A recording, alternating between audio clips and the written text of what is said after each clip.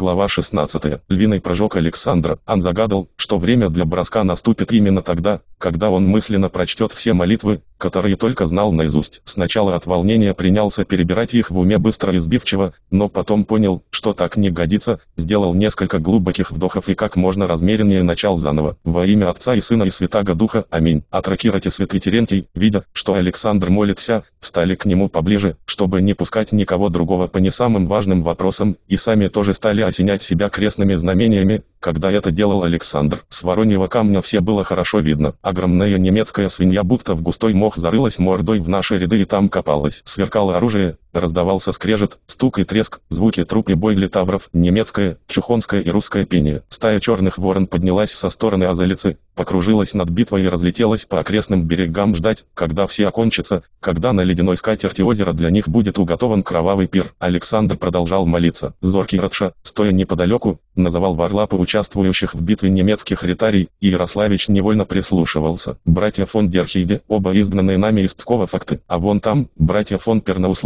лучшими чудскими бойцами. А теперь Кондрат схватился с Александром фон Татсом. Смотрите, смотрите, он сбил его, одного из храбрейших ритаров. Не могу поверить, что кто-то сумел одолеть Александра. Нашего тезку, сказал Варлап, будто в русском войске все были Александрами. Если не ошибаюсь, продолжал Радша, там еще есть Александры, один из братьев Банау, Александр фон Дерпайде, один из братьев фон Ауце, тоже Александр. Поразительно много рейтаров привел Андрес фон Вильвен. Дух захватывает, там чуть ли не треть всего ордена. На его месте,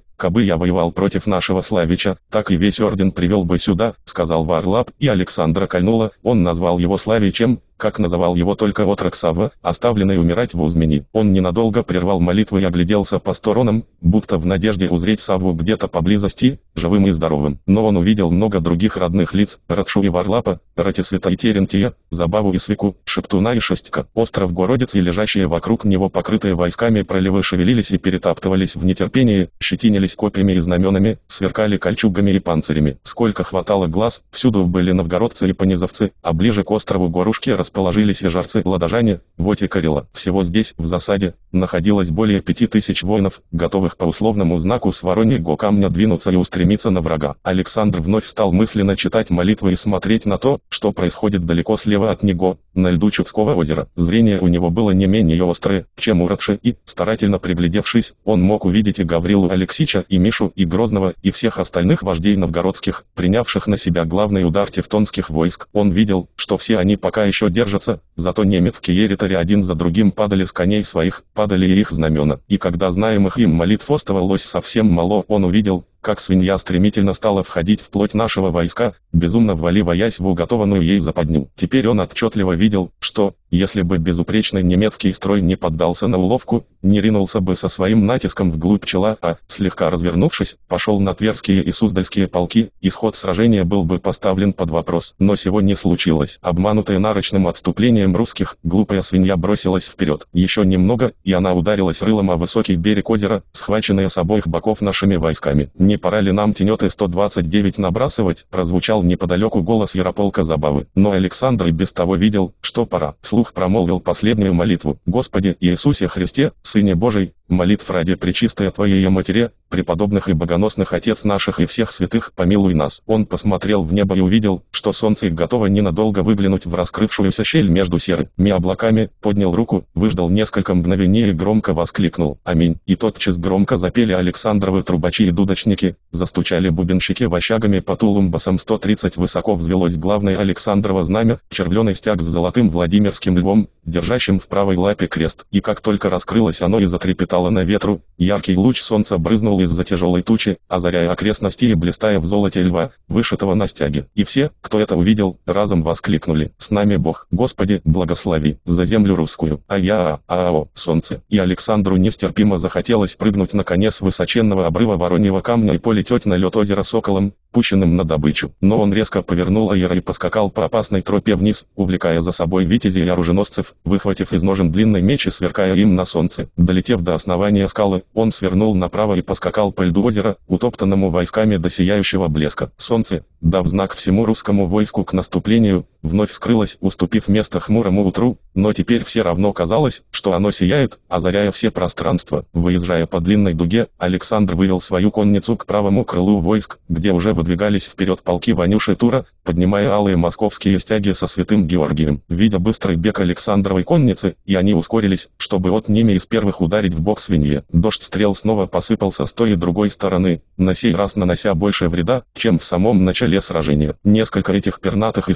истребительниц ласточками просвистели и возле Александра, отна вонзилась ему в щит и там торчала в самом подножии изображенного на щите креста. Все же, обогнав Ванюшиных москвичей, Александр и его всадники вместе с Костромичами и Ярославцами, коих вел Птище, налетел на тевтонцев. Удар был такой сильный, что, несмотря на потери, русичи проломили бок свинье, ворвались ей в ребра. Свирепый ритарь, имеющий на вершине своего шлема прикрепленный человеческий череп, бросился с длинным топором на Александра. Князь вынужден был пригнуться, обоюдоострый топор просвистел в воздухе и отстрекая рукончик упругого уха. Тотчас, выпрямившись, Александр принялся наносить ритарю удары мечом и первым делом раскрошил на голове его череп, оказавшийся настоящим. Лишь нижняя челюсть с зубами осталась прикрепленной к шлему. Больше он пока не мог повредить ритарю. Мощный доспех врага не имел погрешности и трудно было пробить его мечом. Отразив щитом новый удар тевтонского топора, Александр продолжал искать, куда бы ужалить ритаря. Поединок затягивался, меч и топор звенели, ударяясь друг от друга. В какой-то миг лезвие топора достигло лица Александра, но лишь легко ударило в лобовину шлема. Но в следующее мгновение Александр сделал выпад вперед и, сам не веря такой удаче, вонзил жало меча прямо в узкую щель для глаз, отпрянул и тотчас увидел, как из щели брызнула кровь. Ритарь заревел и выронил топор, хватаясь обеими руками за свой шлем. Не теряя времени, Александр нанес новый удар, да такой мощный, что правая рука ритаря отлетела далеко в сторону, отсеченная по самое плечо. Тут уж тевтонский витязь повалился на бок и упал с коня. Теперь Александр мечтал сразиться с самим местером Вильвеном. «Радша, где Андрееш?» — крикнул он, подскакав к бывшему тевтонцу. «Я не вижу его», — отвечал тот. «Вероятнее всего, вицемейстер где-то позади собственного войска, как и положено военачальнику, не желающему осиротить свои полки. Советую и князю Александру на время угомониться и поберечь силы для решающего поединка с Андреасом. Если, конечно, таковой состоится. Добро, согласился Александр, отъезжая с дружиной своей на некоторое расстояние от битвы. Но отсюда, в отличие от Вороньего камня, ему ничего не было видно, лишь спины, спины, спины. И только по хоругвям и знаменам можно было догадываться, что вон там, под знаменем с медведем, Ярославичи и Костромичи, а там, где реет белый стяг с алым оленем, святополк ласка ведет в бой нижегородцев, городчан и юрьевцев, а вон, Тверская Великая Харук с ликом Спасителя в царской короне, там, посадник Семен Михайлович, заменивший Кербета, и там же должны быть ловчий Яков и Раздай с Полочинами, смоленские воеводы Кондрат и Лукоша. Аэр протяжно и жалобно заржал, возможно, только теперь почуяв боль в покалеченном ухе. Не время, Фарек, жаловаться, когда кругом такое смертоубийство, сказал ему Александр, вставляя меч в ножны и беря у рати светолук со стрелами. Он сделал несколько выстрелов в сторону задних рядов тевтонцев, там свинья еще не была окружена нашими воинами и виден был ее толстый железный зад. Вдруг движение спин перед Александром усилилось началось, и вскоре войска быстро пошли вперед, отодвигая зад свиньи на сторону. Ужель рассекли, волновался Александр. Грудинку туда, а карака туда, засмеялся Ратисвет. А через некоторое время и впрямь дошло известие. Подскакавший Таврила Алексич радостно доложил. «Радуйся, княже, твой брат Андрей вовремя с другого бока ударил. Рассекли мы свинью пополам. Голову и плечи окружили со всех сторон плотно. Много наших побито, много, но немца, куда больше. Огорчися, княже, кого. Ванюшу Тура убили. Воевода Раздай пал. У новгородцев Жидита погиб. Тур, Раздай, Жидита». Александр сглотнул горечь, надавил на сердце принимая глубоко в душу боль утрат, осенил себя крестным знамением. Продолжайте отделять заднюю часть, догоните немцев Кузьмини, там их встрянут души Саввы и Кербета. Глава 17. Икону и огонь. Архиепископу Спиридону казалось, будто Александр не съехал со скалы по опасной тропинке, а спрыгнул с нее, пролетел по воздуху по дуге, приземлился на лед озера и дальше поскакал по льду. Таким стремительным был рывок светлого князя. Теперь Спиридон один остался на Вороньем камне в окружении двоих своих спутников, монаха-молчальника Романа и священника Николая.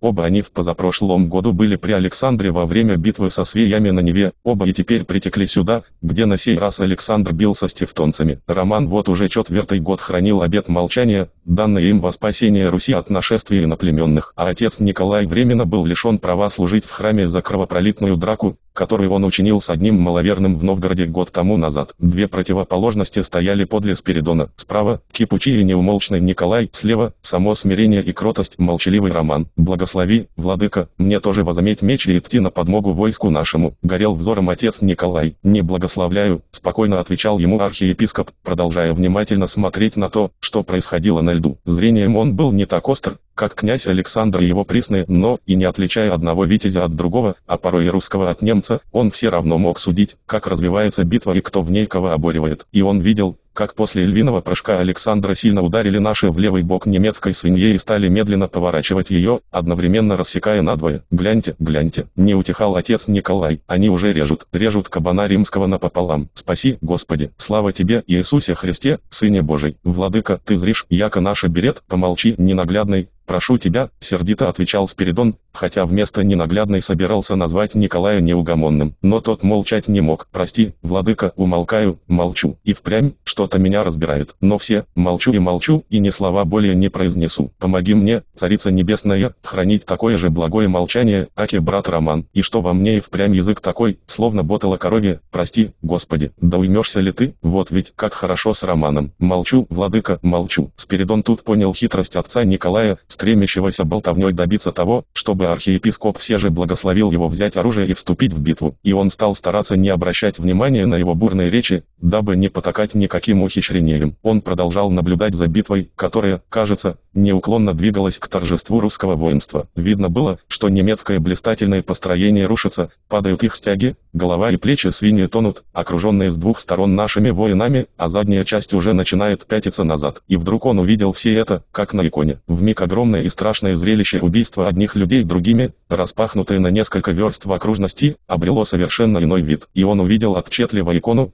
в середине которой на золотисто-буланом своем айре скакал Александр, подобный Георгию Победоносцу, поражающему змея. Но только у ног коня не змея извивался, а огромный вепрь с окровавленной оскаленной мордой, ощерившийся длинными клоками, огненноглазый, покрытый черной, лоснящейся щетиной, и Александр поражал его сверкающим длинным мечом, вспарывал ему в бок, поворачивая и заставляя пятиться в предсмертном хрипе. А там, у задних ног черного вепря, уже раскалывался лед, чтобы сраженный зверь мог провалиться в преисподнюю, откуда и вышел, приняв свиной облик, подобно тем бесам, которые говорили Христу. Имя нам легион, но Спаситель вогнал их в свиное стадо и сбросил в пропасть. Чудесное видение длилось недолго, и архиепископ тихонько застонал от досады, когда явленная его взору икона стала медленно, но неумолимо таять, вновь уступая место земному зрелищу. Спиридону стало страшно и помыслить о том, что, возможно, именно так, в образе этой иконы, видит происходящее здесь и сейчас Господь Бог, и ему, грешному архипастырю, в награду за его попечение дано было ненадолго посмотреть на битву глазами Бога. «Господи, прости меня, грешного», — тихо прошептал он, многожды осеняя себя крестными знамениями, боясь впасть в грех гордыни. Роман и Николай, следом за архиепископом, тоже взялись осенять себя многочисленными крестными знамениями, видимо, решив, что Спиридон увидел решающий миг сражения и молится о скорейшей победе. И он понял их и действительно стал молиться о нашей победе. Потом медленно повернулся к Николаю и Роману, стоящим справа и слева за его спиной. «Что, владыка?» Вмиг загорелся отец Николай. «Благословляешь меня взять меч? Благослови, отче!» «Да нет же, не то!» Сердито топнул ногой архиепископ. «Икону и огонь! Теперь же отправляйтесь вниз к обозу. Там возьмите икону Георгия Победоносца. И ты, Николай,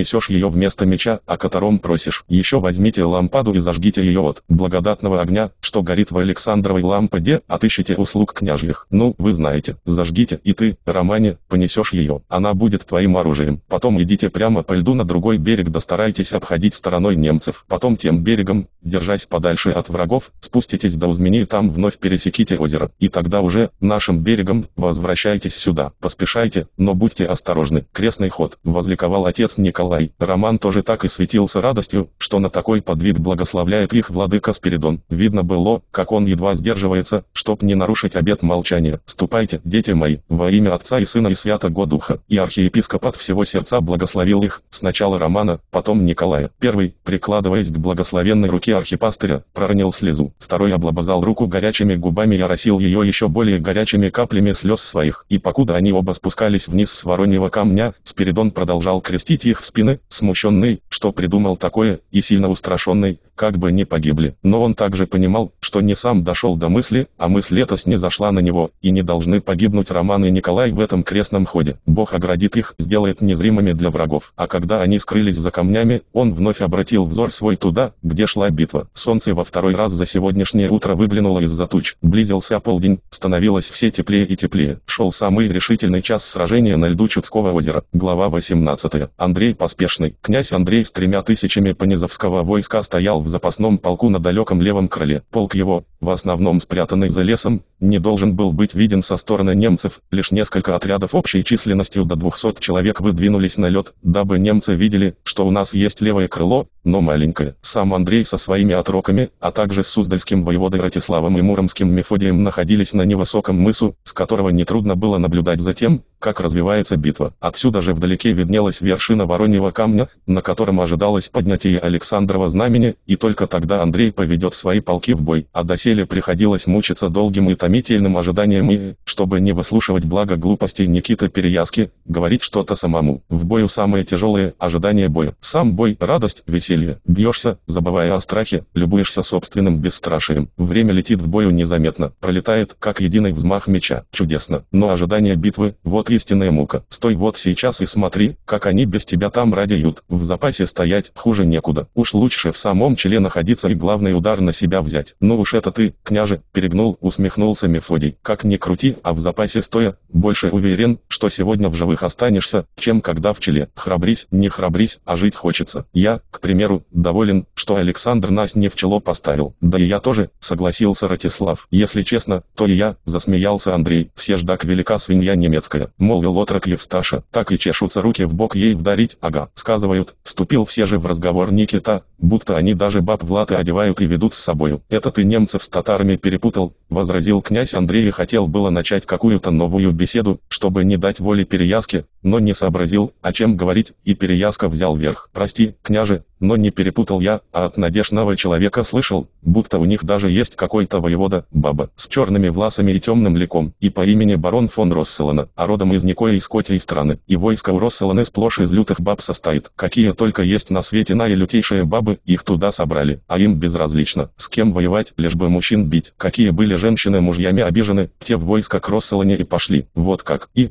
сказывают, лучше им не попадаться, зубами рвут нашего брата на кусочки, жена, коли злая, сам самый жестокий ритарь, но ходят слухи, что мистер Андрееш опасается, как был Росселана не стала вместо него мистером, и ради сего поставил ее на такое место, где бы она могла скорее всего погибнуть. Известно, какое у свинья женское место, захохотал Ратислав. Не иначе как нам и достанется в то место лести, поддержал Ратислава Мефодий. Напрасно вы столь легко к всему относитесь, нахмурился Переяска. Баба в бою хуже самого храброго мужа. К примеру, примеру, Коли вам сие неведомо, то на Святой горе Афоне вообще ничего женского не допускается. Как это? Спросил Мефодий со смехом. Да не слушайте вы его, воскликнул Андрей Ярославич. Аби начнет балаболить, только дай ему волюшку, не умолкнет до гробовой доски. Однако любопытно послушать про Афон, все скорее ожидание пройдет, сказал Ратислав. Так он же на Афоне был, что ли? Встрял Евсташа Туриня. Быть не был, но от афонских паломников взяло наслышан, важно заявил Переяска. Так вот, они сказывают, прогоню тебя из своих отроков, ей-богу, прогоню коню. Они сказывают, что, первым делом, никаких ни жен, ни дев, ни старых, ни малюток на Афон не пускают, это раз. Мало того, вторым делом, никаких собак или кошек там тоже нет, одни коты и псы, это два. А также и всякий скот представлен токмо в мужском роде, это три. Ни тебе коз, ни коров, ни овец, ни свиней, а одни козлы, быки, бараны и боровы. Коней много, а лошадей ни одной, так же и с птицей. Гусь есть, а гусыни не отыщете. Петух поет, а курица не квохчет. Селезень, вот летает, а утку, хоть голос сорвите, зовуще, не накличите. По-твоему, выходит, скоты, звери и птицы там тоже монастырский устав читали? Сердитой усмешкой спросил Евсташа. Они, может, и не читали, а Господь Бог им по молитвам монашеским внушил сей устав, невозмутимо отвечал Никита. Мало того, вы не поверите, ибо все маловерны, но даже соловей поет в рощах афонских, а потом улетает прочь к своему гнезду, потому что Соловьиха проживает отдельно, за пределами Афона. Получается, что у нас тут как бы тоже Афон, молвил Ратислав. Бо насколько мужей собралось, десятки тысяч одного мужеско пола. Ежели не считать Росселаны с ее бабим войском, усмехнулся Мефодий, про который Никитка соврал и дорого не взял, добавил гневно Андрей. Довольно сего гор матушку слушать. И последняя битва. Отселе буду себе нового отрока искать. Али я плохо служу? Возмутился Никита. Молкни. Топнул ногой князь. Долго стояло молчание, но от нестерпимости ожидания Ратислав снова с усмешкой обратился к Переяске с вопросом, а насекомые, скажем так, жуки там, на Афине имеются, а жужелицы тоже через господа монастырскому уставу обучены и не объявляются. Не только жужелицы, но и мухи. Вмиг оживился Никита. Мушиные мужья жужжат и летают, а мух нет. Комары гудят по вечерам, а чтобы комарица пищала, не услышишь. И сие есть величайшее в мире христианское чудо. Даже блохи. Но он не успел договорить про блох, ибо в сей миг случилось то, чего они тут столь томительно ждали несколько часов кряду. Вдалеке, на вершине вороньего камня, вспыхнула золотая точка, это сверкнул золотым своим шитьем Владимирский лев на алом знамени князя Александра Ярославича, которое наконец поднялось над Божьим миром. Тотчас же и солнце, внезапно выглянув из-за туч, озарило окрестности, будто и оно было послушно Александровой воле. А еще через несколько мгновений до слуха долетели призывные звуки труп и дуделок, грохот тулумбасов. Сердце князя Андрея бешено заколотилось, лицо вспыхнуло алым пламенем. Он повернулся к своим соратникам. «Блохи, я те дам блохи. Настал наш час, братья. Не посрамим славы русской». Все пришло в долгожданное движение, все вскочили на коне и поскакали к своим полкам, выводить их на лед Чудского озера. Доселе зажатая пруга стремительно распрямлялась, и сейчас, когда князь Андрей уже скакал впереди своего войска в сторону врага, казалось диким и далеким то долгое ожидание боя, будто окончился тягостный сон и наступило бодрое веселое утро. Далеко оторвавшись от пешцев, конные отряды, осыпаемые стрелами, первыми ударили в правый бок свинье, вломились в дрогнувшие ряды немцев, вступили в яростную сечу. Видный ритарь в белом плаще, украшенном черными лапчатыми крестами, первым бросился навстречу князю Андрею, увидев в нем предводителя и явно радуясь близкой схватке. Огромная когтистая орлиная лапа, вылитая из красной меди, торчала из темени его шлема, и Андрей даже успел полюбоваться таким грозным воинским украшением,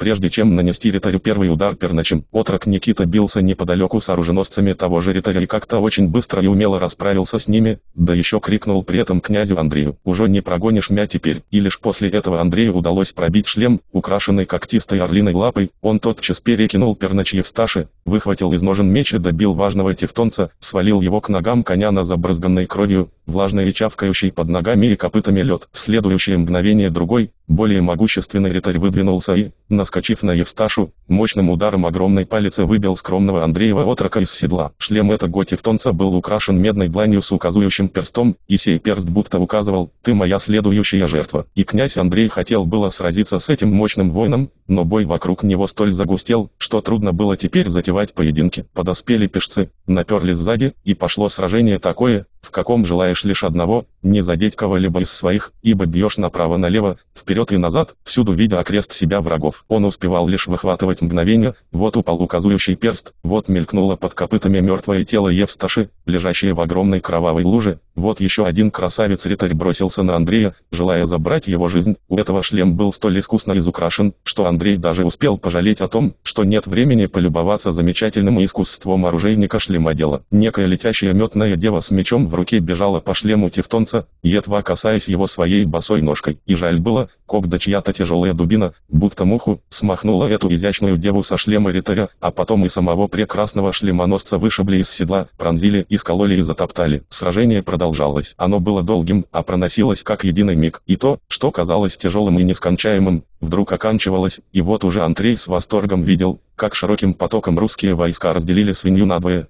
поглощая голову и плечи, окружив их и истребляя, а широкую заднюю часть медленно отодвигая и поворачивая в сторону Усмени. Все сбывалось по замыслу Александра. «Что, княже?» — крикнул Ратислав, «пора нам теперь к женскому месту свиньи пробираться». И захохотал, но в тот же миг короткое копье, весьма удачно брошенное врагом, пронзило ему обнажившееся горло, кровь брызнула и заклокотала, и прекрасный суздальский воевода, который еще совсем недавно спрашивал про насекомых и так великолепно сказал, что у нас здесь свой афон, теперь мешком свалился с коня, освобождая душу. И душа Ратислава так горячо пронеслась перед Андреем, что князь успел почувствовать ее дыхание, будто порывом теплого весеннего ветра обдало его. «Ну держись, папская рать!» В бешенстве воскликнул князь Андрей и с удвоенной силой принялся за дело. Конь под ним пал, но он успел перескочить на другую лошадь, только что освободившуюся от убитого всадника. Сражение поворачивалось, и если поначалу, когда только ударили немцам в правый бок, впереди пред Андреем была полуночная сторона, то потом он развернулся на запад, а теперь уже и вовсе двигался лицом на полдень,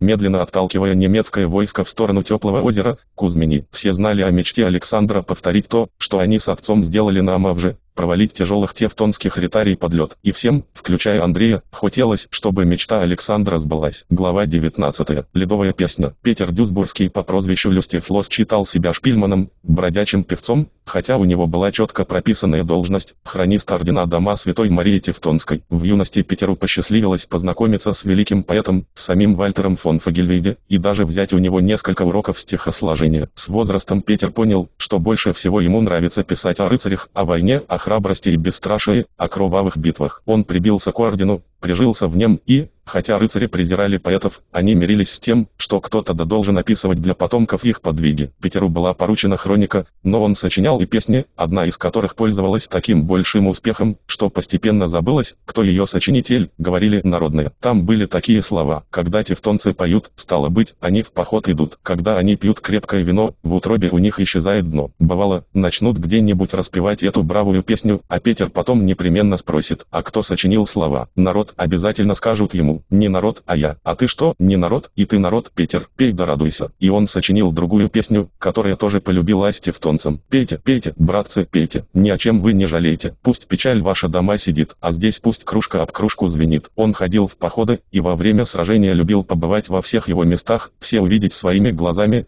за что его и прозвали Люстифло, веселая блоха. В утро ледового сражения он проснулся рано, преисполненный вдохновения и радости от ожидаемой победы над русскими дикарями. Он давно уже привык сочинять на ходу, сначала в уме, а потом только переносить все на пергамент, отточенные и обкатанные в мозгу. И он не мог сдерживать улыбку, когда ехал верхом на белопегом коньке неподалеку от вицемейстера Андреаса. Рядом с Вильвеном двигался на вороном коне некто барон Рослин, темноликий и черноволосый гость ордена. О нем говорили многое, будто он сказочно богат, будто он возглавляет некий таинственный и могущественный орден и даже будто он женщина. Справа от Андреаса ехал епископ Герман, брат вице-мейстера Иоганн, и другой Иоганн, Фонакин, с пышным плюмажем на шлеме, а там впереди гремело, вышагивая, огромное орденское воинство, столь тяжелое, что оставалось лишь диву даваться, как это не проваливается под ним лед озера Пипус. И Петер уже обкатывал в уме образы. Лед под ногами у них стонал и трещал, ледяная поверхность трещала, но сама святая Мария снизу из-под воды держала, провалиться под лед не давала. На вицемейстере мантия, как огонь, трепетала, как белый огонь трепетала, пока мест были открыты забрала. Проехав какое-то время в свите вицемейстера, Люстифло не выдержал и поскакал вперед по правому боку от железной свиньи, но не успел он далеко отъехать, как раздался страшный удар и грохот, означавший, что немецкое войско сошлось с русским. Тотчас вспыхнул новый поэтический образ. Треск и удар был такой, что казалось, лед на озере двинулся с грохотом. Сшиблись два войска и вот, будто пошел ледоход. Грохот такой нестерпимый поднялся, слов но бы лед на озере весь поломался. Он приблизился к месту сшибки, и две стрелы одна за другой просвистели прямо возле его лица. Русские обильно обстреливали немцев из луков. Мысли, оперенные образами, как стрелы, свистели в голове у Петера из Дюсбурга. И, словно пчелы над ульями, русские стрелы свистели, но запугать они рыцарей так до конца не сумели. Рыцари-братья русских стрелков под себя подмяли, копытами их та-та-та-та-та-та потоптали. Лед под ногами войск стонал и шатался, быстро из белого в красный от крови он превращался. Следующий образ так обрадовал сочинителя, что он весело захохотал. Надо было только превратить его в стихи. Значит, так, как на свадебном пиру, завтрак быстро переходит в обед, а обед в ужин, также проходила эта битва, быстро, стремительно и весело. Недалеко было от завтрака до обеда, а за ужином уже ожидала победа. Что-то в этом роде. Так-так, хороший образ, надо будет его как следует развернуть. Ледяная свадьба, ледовая песня жениха. Жених, вицемейстер Андреас, невеста, сама святая Мария Тевтонская. Подарок ей, победа над русскими варварами. Свадьбу играет епископ Герман. Надо ли вот вписывать туда эту темную лошадку, барона Расслина, пока не буду, а если потом скажут вписать, впишу. Итак, что там получается? Голова его пылала, он то отъезжал в сторону, то пытался пробиться туда,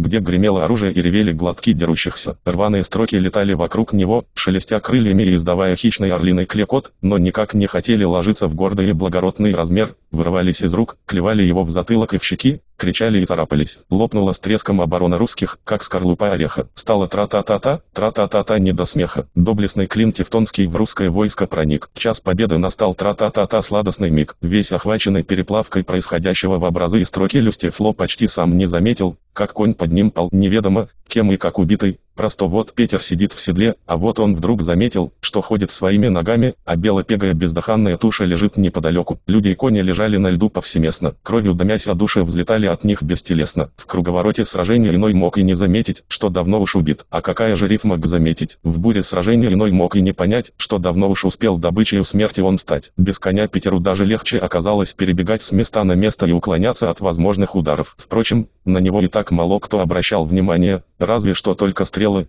коим безразлично было кого жалить, воина или шпильмана. И Люстефло, полностью оправдывая свое прозвище, мелькал то там, то сям, его чуть было не утянуло вместе с головой и плечами свиньи в глубокую русскую западню, потом он очутился в самой середине немецкого войска, в самой гуще пеших кнехтов, где лишь несколько рыцарей были на конях. Здесь Петер пережил удар, который прошился по всему войску мощной волной. В тревоге он ожидал объяснения, и оно вскоре последовало. Оказалось, князь Александр находился не с основным войском, а наскочил с левого крыла и ударил своей конницей, проломив железные ряды. Потом точно такой же удар воспоследовал справа. Оказалось, что и оттуда наскочили русские. Что же это? С недоумением обращался Шпильман к окружающим его кнехтам и рыцарям. Я думал, мы уже победили. До него никому не было дела, лишь Томас фон Гроб грубо крикнул ему. Проваливай отсюда, Люстефло, здесь тебе не место. И Петер послушался. Его одолел страх, который передался ему от фон Гроба. Страх гнал его сквозь смыкающиеся ряды кнехтов, а грохот и треск внутри свиньи усиливался. Оглянувшись, хронист ордена успел увидеть как раскалывается надвое шлем Томаса фон Гроба и янтарно-желтый мозг молодого рыцаря выскакивает наружу. Это могло означать лишь одно, что русские пробились уже в самую середину тевтонского войска, разрезая его пополам. Видно мне было, как рассекаются шлемы, как рассекаются мощные, крепкие шлемы, с хрустом ломаются, как бы то ни было, шлемы. Мозг вылетает сквозь распотрошенные шлемы, заело в голове у Шпильмана. Страх и ужас одолели его столь сильно, что он уже едва мог что-либо соображать, а уж со стихами и вовсе было худо. Он ненадолго прижал прижался к бронированной ноге Генриха фон Нимма, но и того сразил мощный молот русского рыцаря, выскочившего словно из-под льда, и фон Нимм рухнул прямо на Петера, так что тот едва успел увернуться и лишь сильно ушиб плечо отяжеленные доспехи Генриха. Весь забрызганный кровью, с выпученными глазами Люстефло нырял под брюхами коней, протискивался сквозь ряды кнехтов, проскальзывал у кого-то под ногами, стремясь поскорее уйти оттуда, где гибнет доблестное тевтонское воинство. Его чуть было не раз топтал Себастьян фон Лильвард, который яростно продирался сквозь строй, чтобы принять участие в схватке. Но постепенно Петер очутился в заднем правом окороке свиньи, где стояли братья фон Бранау, Гюнтер фон Маронк и Эрген фон Вайниненде. Здесь пока еще было спокойно, и Люстефло обратился с вопросом к фон Маронгу. «Что происходит? Боюсь, нам крышка». Дико осклабился в ответ Гюнтер. «Они побеждают». Пауль фон Рагг двинул вперед свои эстонские полки, но едва ли трусливые эсты способны на что-либо, кроме ловли рыбы. Пожалуй, нам скоро следует подумать о том, как бы унести ноги. Услышав такое, Шпильман поспешил расстаться с фон Маронгом и стал пробовать окончательно выбраться из смертельно раненой свиньи. И ему почти удалось это, но вдруг он вновь оказался в гуще войска, но теперь уже, войска бегущего, пятящегося, топчущего самого себя. Обезумев, люди готовы были колоть и бить друг друга, лишь бы поскорее унести себя отсюда. Оказалось, что эстонцы фон Ракка, едва вступив в сражение, и впрямь дрогнули, побежали, окончательно разрушили немецкие строи, отколов от него значительную часть, тащили немцев теперь куда-то в бок и назад, к берегу, в сторону узкого пролива между верхним и нижним Пипусом. С ужасом Люстефло вспомнил слова вице-метера о том, что там, самое опасное место, там можно провалиться под лед. Но толпа волокла его за собой, и он ничего не мог с этим поделать, разве что только постараться выскочить поперед бегущей толпы, ибо на нем не было тяжелых доспехов, лишь легкая кольчушка, и он мог успеть проскочить впереди всех до того, как они провалятся. Дрогнули листы только бы лед не треснул в ужасе немцы бежали льдины под ними трещали храбрые в наступление, жалкие в отступлении им бы всем сбросить доспехи, но времени нет на доспехи, стучало в мозгу у хрониста. Рифмы рождались сами собой, вились, как машкара, гасли и осыпались. И он наконец выбрался из общего строя и бежал впереди всех. Оглянувшись, он мельком заметил, что среди бегущих и оба брата фон Бранау, и фон Маронг, и фон Вайненеде, и даже Вильгельм фон Скрунд, который, помнится, был почти в самой середине свиного зада около датчан, с мыслью одною, дойти бы до твердого брега. Очень хотелось бы отдыха и ночлега, лишь бы уйти живым,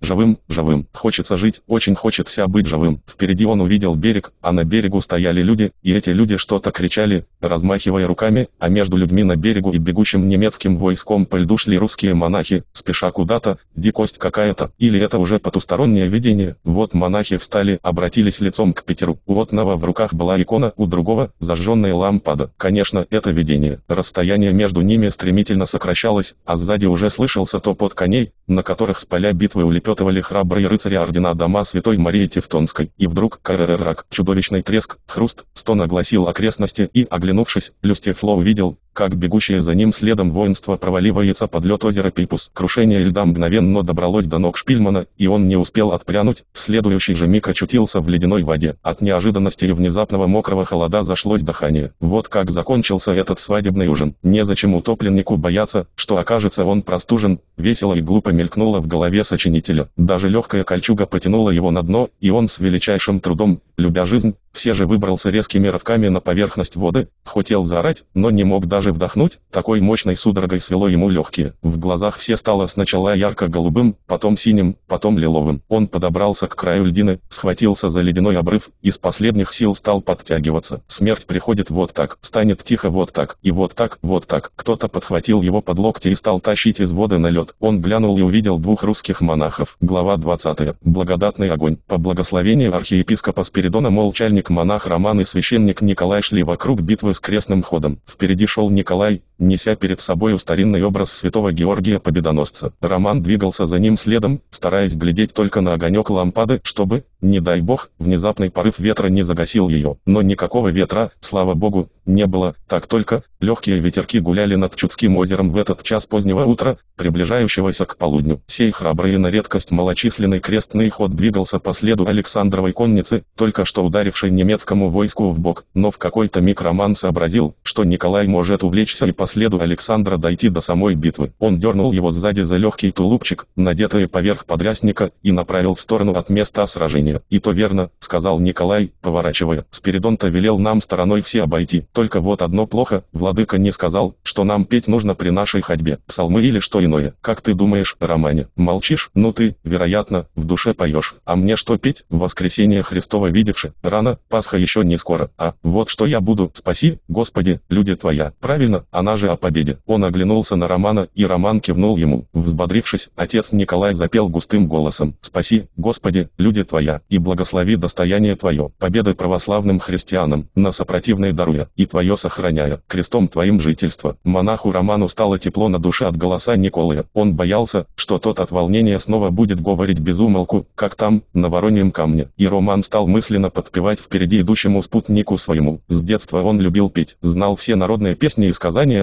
но больше всего ему нравилось песнопение церковное. Став монахом и получив новое монашеское имя от Романа Сладкопевца, он в том углядел для себя предзнаменование. Однажды тайком произвел он на свет кондак 131 собственного сочинения, который показался ему столь совершенным, что Роман стал особенно благодарить небесного своего покровителя, зачинателя кондаков. Так он насочинял множество кондаков на всякие праздники, и все они казались ему прекрасными, а сам себе он уже казался новым сладкопевцем лишь ждал часа, когда можно будет выказать свое дарование. Но в то же время без гордыни стал все больше и больше обуревать его. Постепенно сделался Роман нетерпимым к людям, замечал в каждом грехе его и всякую малую погрешность возводил в чин смертного греха. Даже о некоторых иерархах иной раз мог свое суждение иметь, и суждения не самые лицеприятные, но и себя на исповедях не жалел Роман, принявший сан монаха. Однажды, исповедуясь отцу-настоятелю, он произнес следующие слова. «Неистово многогрешен нас, владыка, несть конца неправде под моим ангельским одеянием». «Э, постой-ка», перебил его настоятель, «не перегнул ли ты палку, брат Роман, коли у тебя под ангельским одеянием сплошная неправда, то как же ты можешь носить сей образ на себе? Тут дело далеко зашло. Слышал я о тебе, что ты кондаки сочиняешь и даже тайно кое-кому дерзаешь петь их, собирая вокруг себя восторженных почитателей. А ну спой мне наилучшее из них. Роман смутился, но спел свой собственный кондак, посвященный Рождеству Христову. Вот он мой миг, думалось ему, ибо ведь и Роман Сладкопевец впервые прославился своим рождественским кондаком. Но вдруг он увидел весьма строгое выражение на лице настоятеля и внезапно осознал, насколько кондак Романа Сладкопевца лучше, нежели сей, только что спетый. Долго молчал настоятель. Роман все ждал и ждал слов от него, а он все молчал и молчал, молчал и молчал. Отрыд взяла Романа. Он догадался, что значит сие скорбное молчание. Догадался и спросил, и сколько молчать мне заповедуешь? До тех пор, пока не осознаешь заблуждений своих, вмиг просветлев лицом, сказал настоятель, до тех пор, покуда само из тебя не прорвется слово человеческое. Одним могу тебя утешить, глядишь, после благого молчания твоего и впрямь научишься сладостные кондаки и прочие песнопения сочинять. Так и случилось, что более двух лет тому назад монах Роман принял обет благого молчания. Молчальником он на него вместе с Александром и отцом Николаем ходил. И был миг, когда показалось ему там, что готово прорваться его молчание. Ратмир, любимейший певец князя Александра и всего народа, пал в битве, и никто не мог утешиться, оплакивая эту гибель. Что-то подсказывало Роману, прерви молчание, спой и утеши Александра, но что-то издерживало его. Нет, рано, и года не прошло, как ты молчишь, разве бывают столь кратковременные послушания? Терпи, и воздастся тебе еще больше. Так он мучился тогда, но не прервал молчание. И вот теперь Роман шел след вслед за отцом Николаем, нес лампадку, на которой горел огонек, зажженный от благодатного огня, сходящего в Иерусалимском храме Воскресения Христова в субботу перед Пасхой, и волнение распирало его, неужто теперь, через два молчаливых года, за которые ни словечко не было им промолвлено, суждено ему прервать обед. Он думал так потому, что чувствовал, как пение рождается в душе, как распирает оно его легкие,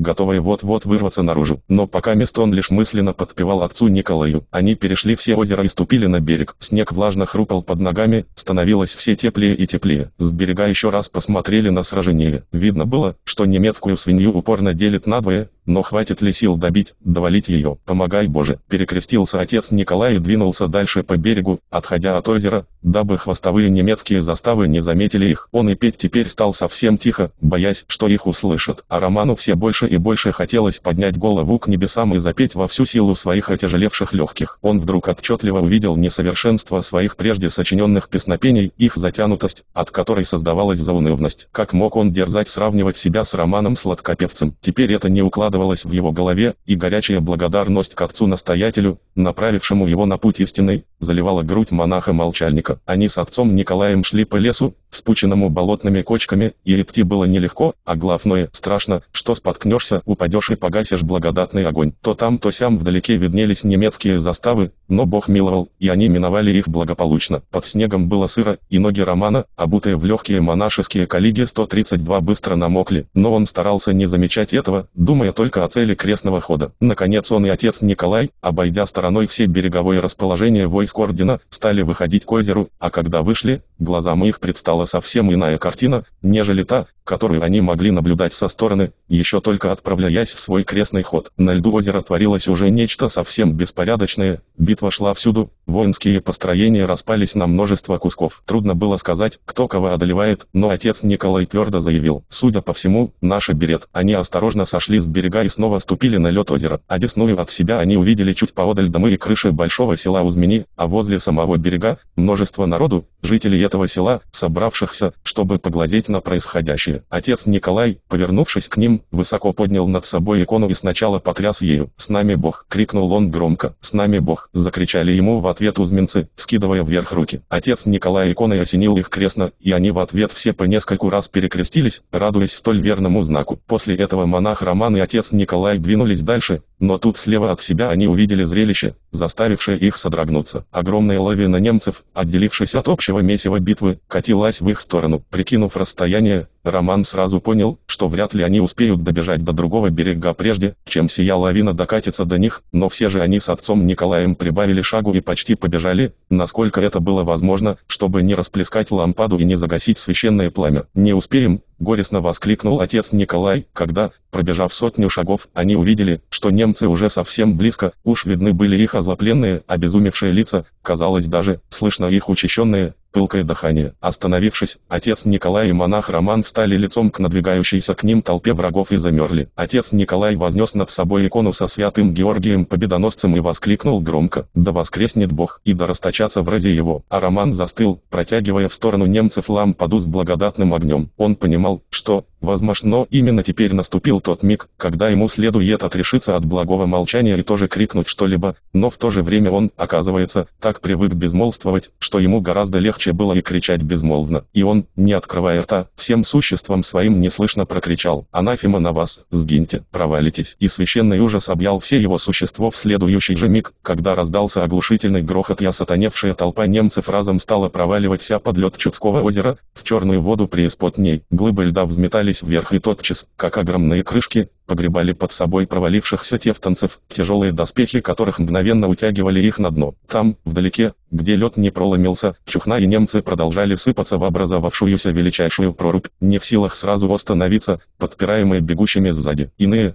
по сторонам от огромной полыньи, разбегались в смертельном ужасе, побросав щиты и оружие, сбрасывая с себя на бегу шлемы и доспехи. Одни из них бежали прямо к русским войскам, чтобы у них обрести смерть или плен. Другим посчастливилось больше, они устремились к западному берегу озера, где еще можно было надеяться на спасение. а, кричали за спиной у Романа и Николая узменцы. а хо-хо, восторженным медведем ревел отец Николай. И тут монах Роман не выдержал и открыл рот, чтобы красиво его весь голос воспеть происшедшее. Благословен Бог наш, всегда, ныне и присно и во веки веков. Амэмэмминь, низким голосом подхватил отец Николай. Солнце вынырнуло из-за ледяных небесных глыб и озарило ярким золотым сиянием величественную картину окончания ледового побоища. Спаси, Господи, раба Твоего, благоверного князя Александра и дождь, Господи, ему здравия духовного и телесного и мирное Твоя и примирное благая. Продолжал с неизведанным доселе наслаждением петь монах Роман. В сей миг из ледяного крошева в нескольких шагах от Николая и Романа вылезли чьи-то руки, а следом за руками высунулась из черной воды мокрая голова с белым и жалобным лицом. Не сговариваясь, отец Николай и монах Роман, Первый бережно положил на лед икону, а второй поставил лампаду, ринулись на помощь, подхватили немца под локти и стали тянуть, не думая о том, что и сами могут провалиться, если лед под ними подломится, и вытянули его, и потащили волоком подальше от губительной проруби, спасли дурака такого. Ich bin, ich bin, стуча зубами, блекокотал немец. Ich bin kein Krieger, ich bin ein Spielmann 133. Шпильман, значит, усмехнулся отец Николай. Ну, будем знакомы, а я Николай, а он Роман. Помни спасателей своих, дурья твоя башка. Чего ты в своей Дудешландии не сидел? Шпильман, ja, Spielmann, ich bin ein deutscher Spielmann один. Продолжал стучать зубами и трястись всем своим мокрым существом спасенный немец. К ним подбежали узменцы, и монах Роман, искренне сожалея о том, что окончилось его благое молчание и что вновь надо осваивать человеческую речь, сказал, этого Шпильмана сберегите, подарите его князю Александру, пожалуй, он единственный, кто спасся, провалившись в сию великую и священную прорубь. Он поднялся льда лампаду и пошел дальше в сторону восточного берега озера. Отец Отец Николай взял икону и на некотором расстоянии последовал за ним. «Куда вы? Ведь тоже провалитесь!» — кричали им жители Узмени. «Мы не провалимся!» — весело ответил им отец Николай. «С нами крестная сила». Глава 21. Арать. Мишка давно уже окоченел, топчась на берегу озера с самого утра и до полудня, но уйти в домашнее тепло в то время как там, на льду озера,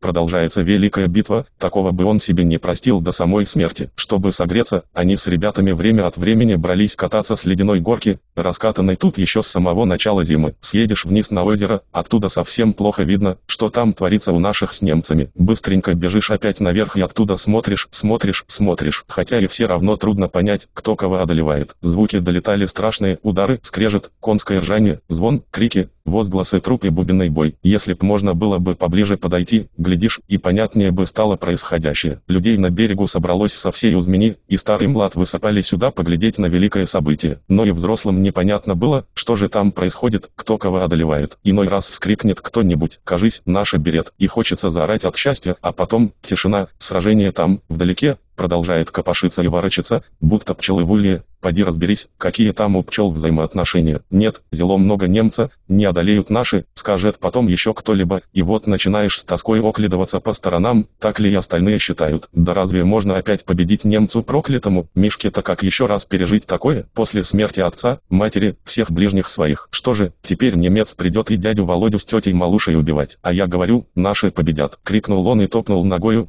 не в силах смириться с мыслями об еще одной немецкой победе. Тут ему в спину ударился снежок, да больно так. Оглянувшись, он увидел дразнящегося увитку. «Мишка, Мишка, тонкая кишка, а ты, Тереха, псиная бреха!» — крикнул обидчику Мишка, возмущаясь тем, как он может затевать свары в то время, как наши борются с немцами. Бона, эх ты, те это, да наши, русские, закричали тут все на берегу, увидев, как от дальнего берега, выскочив из леса, будто из-под земли, ринулись на врага конники и пешцы запасного полка. Наши, наши, закричал Мишка, глядя с восторгом на то, как доселе скрываемые полки бегут и скачут туда, где идет битва. Слава русским, слава, кричал рядом с ним Увид, и Мишке даже неприятно было, что и обидчик переживает за нашу победу. Уж лучше бы Уветка о немцах печалился. И он впервые в своей маленькой жизни задумался. Вот как странно бывает, двое ненавидят друг друга и готовы до смерти друг с другом драться, так и пылают злобой, а однако же, оба они русские и оба за Русь хотят жизнь отдать. И если им придется бок о бок идти в бой с врагами, то надо будет на время забыть о взаимной ненависти и вместе сражаться, а быть может, даже спасать один другого от смерти. Разве это не странно, Уветка? Ты почему меня обижаешь? Вдруг спросил он обидчика. Потому что ты Мишка-мешок, полное брюхо кишок, дерзко отвечал Увид. Так ведь и у тебя в брюхе кишки, усмехнулся сердито Мишка. Или скажешь, у тебя там одни церви, уже я тебе покажу, церви. Вспыхнул Увид и бросился на Мишку. Пришлось убегать от него, потому что он сильнее. Зато Мишка быстрее бегает, не догонишь. В беге малость согрелся, а то ведь ноги совсем перестали себя чувствовать. Как же хочется, чтоб наши поскорее одолели немцев, которых почему-то называют орден. Стой, Уветка, погоди. Вот скажи мне, отцева это немцы называют орден? Прею, не знаешь. А вот и знаю, потому что они орут. Увид остановился и сам задумался над тем, что сказал. А давай у дяди Володи спросим, предложил Мишка. Они нашли в толпе зевак дядю Володю и спросили его. Тот задумался и сказывал. Полагаю, от того, что у них орудий много. А с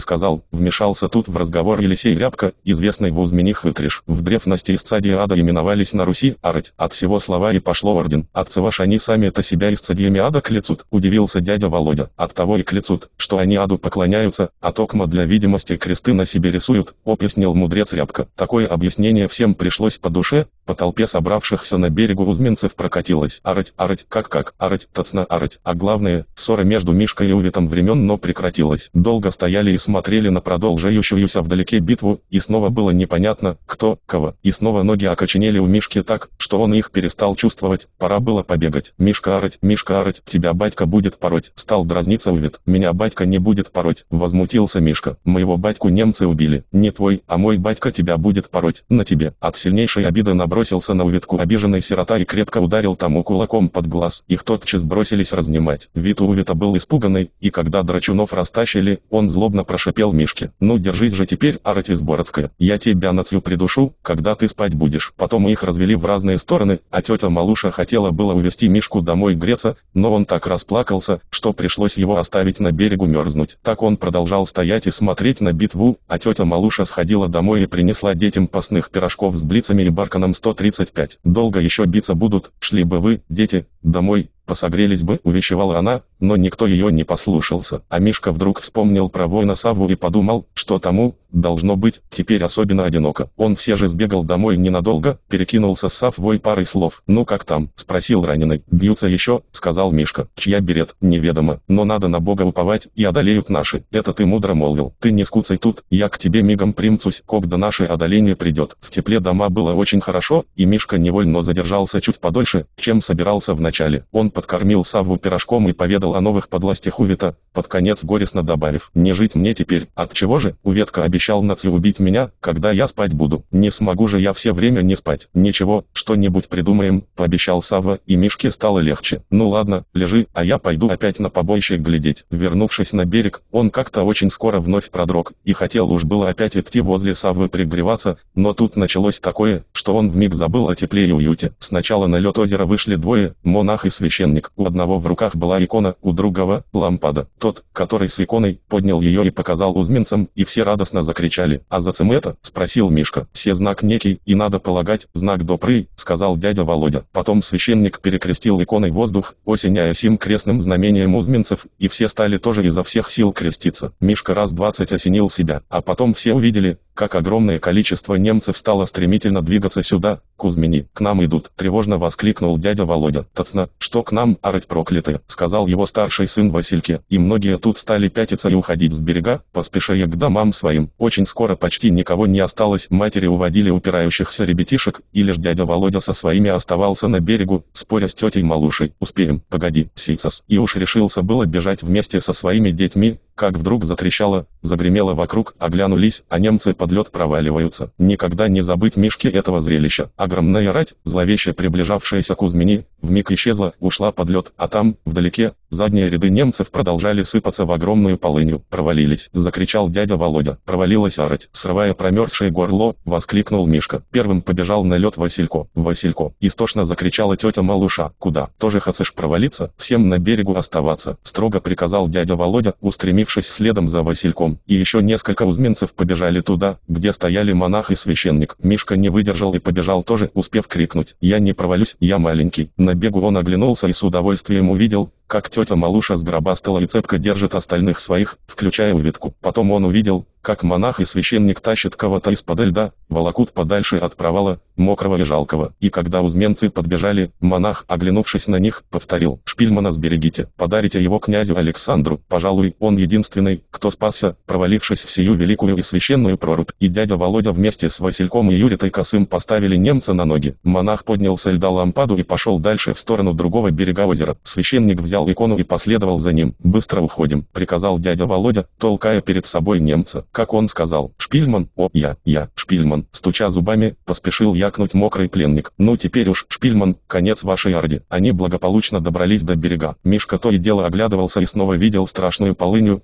покрытую плавающими, перекособоченными, налезшими одна на другую льдинами торосами, туда воз вернулись из чади ада, а когда взошли на берег, посмотрели и увидели, как наши войска гонят немцев с льдоозера к Субалическому берегу, гонят и бьют, топчут, уничтожают. «От оленя!» — воскликнул дядя Володя. «Побе!» — крякнул Мишка и окончательно охрип, горло схватило судорогой, очень больно и обидно, что именно в такое торжественное мгновение. «Побе е е и да а, а кричали все вокруг, прыгая и вознося к небу руки. «Слава тебе, Господи! Слава тебе!» Стали креститься некоторые, и все тоже принялись осенять себя крестными знамениями. Не в силах больше претерпевать холод, Мишка вместе со всем семейством дяди Володя отправился домой. Пленного мокрого немца вели туда же, и Мишка, видя это, твердо решил, что жить всему немцу осталось немного. Глава 22. Победа. Небо будто хотело изобразить то, что происходило на земле. Тучи рассеялись, солнце выглядывало с каждым разом все на дольше и на дольше, а когда во все лопатки погнали немца с льдоозера, оно выглянуло и уж не исчезало, озаряя своим весенним сиянием весь дольный мир. Сделалось тепло и по-весеннему сладостно, а под доспехами у всех мокро от пота. Весть о том, что огромная часть тевтонского воинства, устремившись к Кузьмини, провалилась под лед и погибла, железной лавой уйдя на дно, дошла до Александра,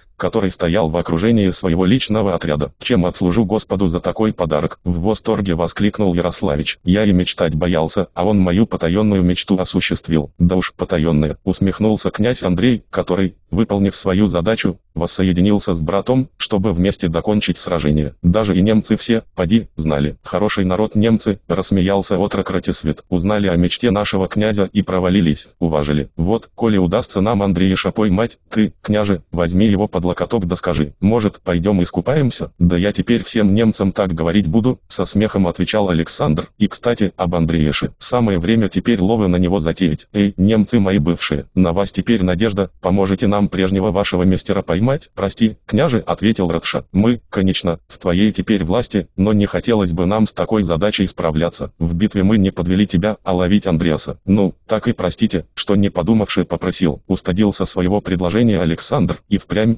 разве мог бы он потом уважать их, если бы они вместе с ним в поимке своего бывшего господина участвовали? Благодарю вас за то, что в битве вы были наравне со всеми, а иной раз и лучше многих. Теперь хочу поручить вам важное дело, лед на озере с каждым часом становится все более хрупким, а надобно успеть собрать с поля брани павших, всех перенести на тот берег, и не только людей, а и оружие. Все пригодится нам потом, чтоб ничего не досталось озеру, только вам и могу поручить сие зная, что кропотливо все исполните. Можешь не беспокоиться, княже, поспешил заверить Александра немец Михайло Мороз, бывший Кальтенвальд. «А где Лербик?» – спросил князь Андрей, проводив взглядом отъехавших исполнять свои обязанности Ратшу и Мороза. «Пал в битве», – ответил Александр. «Не стало одного из моих немцев, и многих не досчитаемся мы сегодня. Ярополка Забаву убили, серба Гавриила Свекуладожского, а я с ним так и не успел двух слов перемолвить. Многих иных унесло Божьей волей на небо. У меня и в Сташа погиб, пригорюнился князь Андрей, но не теперь тужить, братцы». Громко воскликнул Александр. «Присоединимся к погоне Антоне, поймаем мистера, жажду сразиться с ним и возложить печать ему на лице, яко на Неве, Бергеру. Он выхватил меч из ножен и высоко вознес его над головою. Все тотчас взбоднули коней и устремились следом за Александром, разворачиваясь в беге подопно тому, как расправляет свои крылья орел,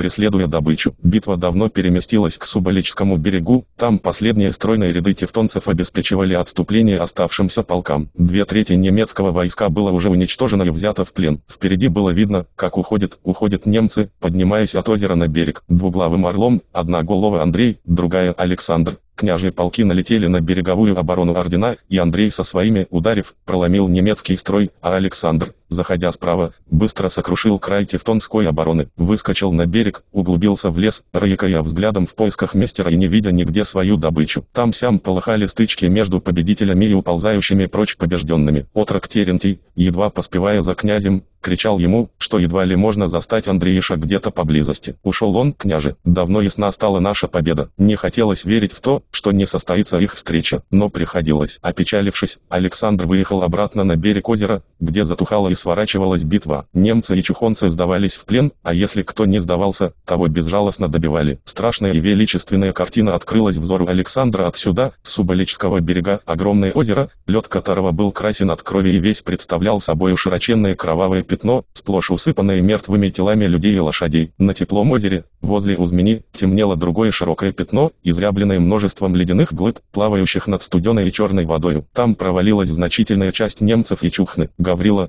Сбыслав, кликнул князь Алексича и Якуновича. «Стягивайте войско. Следует выстроиться здесь, на этом берегу, и стройно преследовать врага. Ежели позволит сила, мгновенно двинемся отсюда на Юрьев. Довольно ему Дорбета именоваться. По следу уходящего неприятеля, на его спинах ворвемся в старинный град Ярослава Мудрого. Но погорячился князь Александр, не скоро смогли воеводы выстроить полки наши на Суболическом берегу, и вид у воинства русского был усталый и потрепанный. При виде бегства немцев казалось, их во много раз больше погибло, но теперь выяснялось, что великую цену пришлось заплатить за победу на озере. В каждом полке не досчитывались половина числившихся до битвы, а в полках чела и того хуже, на каждого уцелевшего приходилось по 3-4 павших, и самих воевод немало побило, новгородцы потеряли Жидиту и Твердисела, Падка Лущинича и растрепал, погиб славный Ванюша Тур, предводитель москвичей и коломенцев, Пал Смоленский воевода Кондрат Белый, Суздальский Ратислав, погибли Таврила Лербик, Свеколадожский, Ярополк Забава, многие другие славные витязи. Снова тучами стало заволакивать небо над кровавым озером, снова солнце лишь изредка выплескивало лучи свои, не желая глядеть на окровавленную ледяную поверхность, по которой сновали уборщики, уносящие тела и снаряжение на тот берег, который утром был русским. Только лошадиные туши, освобожденные от доспехов из бруи, оставались на радость воронью, оно нетерпеливо кар каркала в окрестных лесах и уже нагло кружилась в небе. Расположив десяток застав на Суболическом берегу, Александр велел остальным возвращаться на другой берег, уходить в села и деревни, где они останавливались накануне битвы, главным образом, в Кобылье городище. «А мы куда?» – спросил Ратисвет, видя, что сам князь-победоносец поворачивает Аира направо. «В Узмень поедем», – ответил Александр. «Заберем тело Саввы, привезем его ко всем остальным, доблестно павшим в этой битве». Он прибоднул Аира и поехал краем Суболического берега, то и дело поглядывая на озеро и размышляя о Боге, что он думает, глядя на дело рук человеческих. Он, создавай небо и землю, украсивший небеса солнцем и белоснежными облаками, а долы, лесами и реками, морями и озерами, весной превращающий все в зелень, а осенью в золото, зимой услаждающий взор человека бескрайней в белизной снега, подобной белизне облаков небесных. Он, еще вчера радовавшийся тому, как сверкает белой гладью это прекрасное озеро, что он думает о том, как эту белизну окровавили люди. И Александр не чувствовал радости от своей великой победы, а лишь усталости и раскаяния за грехи человечества, до сих пор не научившегося жить в мире. Ему даже стало стыдно за то, как он радовался известию о провале немцев под лед, ибо, ликуя о нашем торжестве,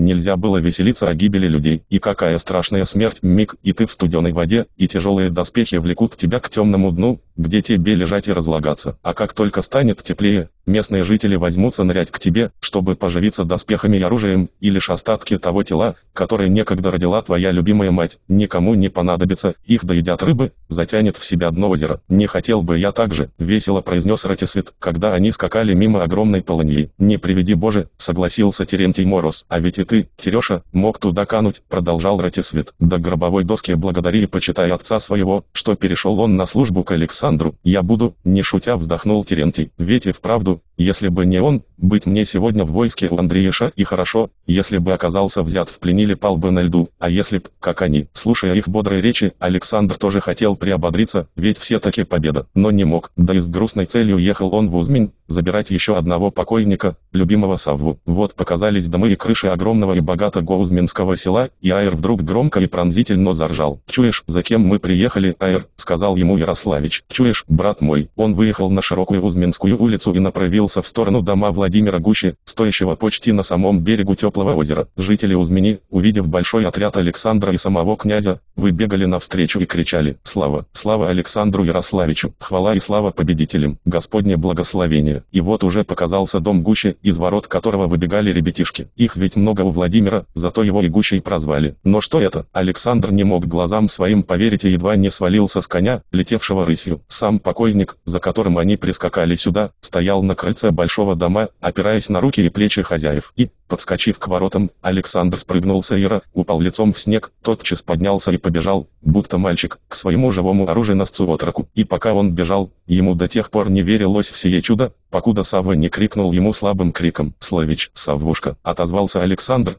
подбежал и подхватил Савву, шагнувшего из объятий хозяев дома в объятия князя. Глава 23. Наши слезы. Вот уж дал мне Господь мучений в Узмени. Мало того, что раны мои продолжали терзать меня невыносимой болью и лишь мало-помалу стали заживляться, а тут еще выпал сей день сражения, которое проходило у меня под боком, а я никак не мог в нем участвовать. Сия мука похлеще любых болестей оказалась. Едва только пришло известие о том, что Александр и Андрееш схлестнулись тут, на льду Чудского озера, дом доброго гуща опустел и надолго а я лежал тут, всеми позабытый и покинутый, одинокий израненный боец. Ох и тошно мне сделалось, братцы, ох и сумрачно, от бессилия своего, от неподвижности израненного тела хотелось мне воспарить и улететь, туда, туда, где хряск расщепляемых костей и звон железа, где стоны и крики, и веселье битвы, и слезы отчаяния покатились из глаз моих, всего меня затрясло от горя, я плакал, как малое дитя, осознающее свою слабость перед властью и всесильностью взрослых, не позволяющих тебе делать то, чего тебе так безумно алчится. Я хватал себя ладонью за лицо, и ладонь моя погружалась в горячую лужу горьких слез. Но слезы только у баб неиссякаемы. У нашего брата их запасы скудно и быстро кончаются. Так и у меня. Все еще дрожа от отчаяния, я уже чувствовал, что глаза не могут более источать горькую влагу. Отсмаркавшись в припасенную для меня льняную ширинку, я тщательно вытер себе засморганную рожу, несколько раз вздохнул и постарался успокоиться. Но сердце стучало сильно, ударяя в голову, особенно за ушами, где так и слышались тугие удары. И откуда только взялось во мне крови, чтобы снова так ходить и стучать по голове. Казалось, вся моя жильная жидкость из раны сточилась, а поди ж ты, за шесть ден, что миновали от мостовского сражения, новой крови во мне достаточно народилось. Так я лежал тихо, стараясь думать о Боге и молиться ему. Но это только у тебя, Славич, хорошо, легко получается, взять да и отдать себя всего целиком молитве. Но на то ты и есть солнце земное, а мы, грешные, сплошь из глины соделаны, нам не просто очеса свои небу поднимать, вся наша жизнь глиняная в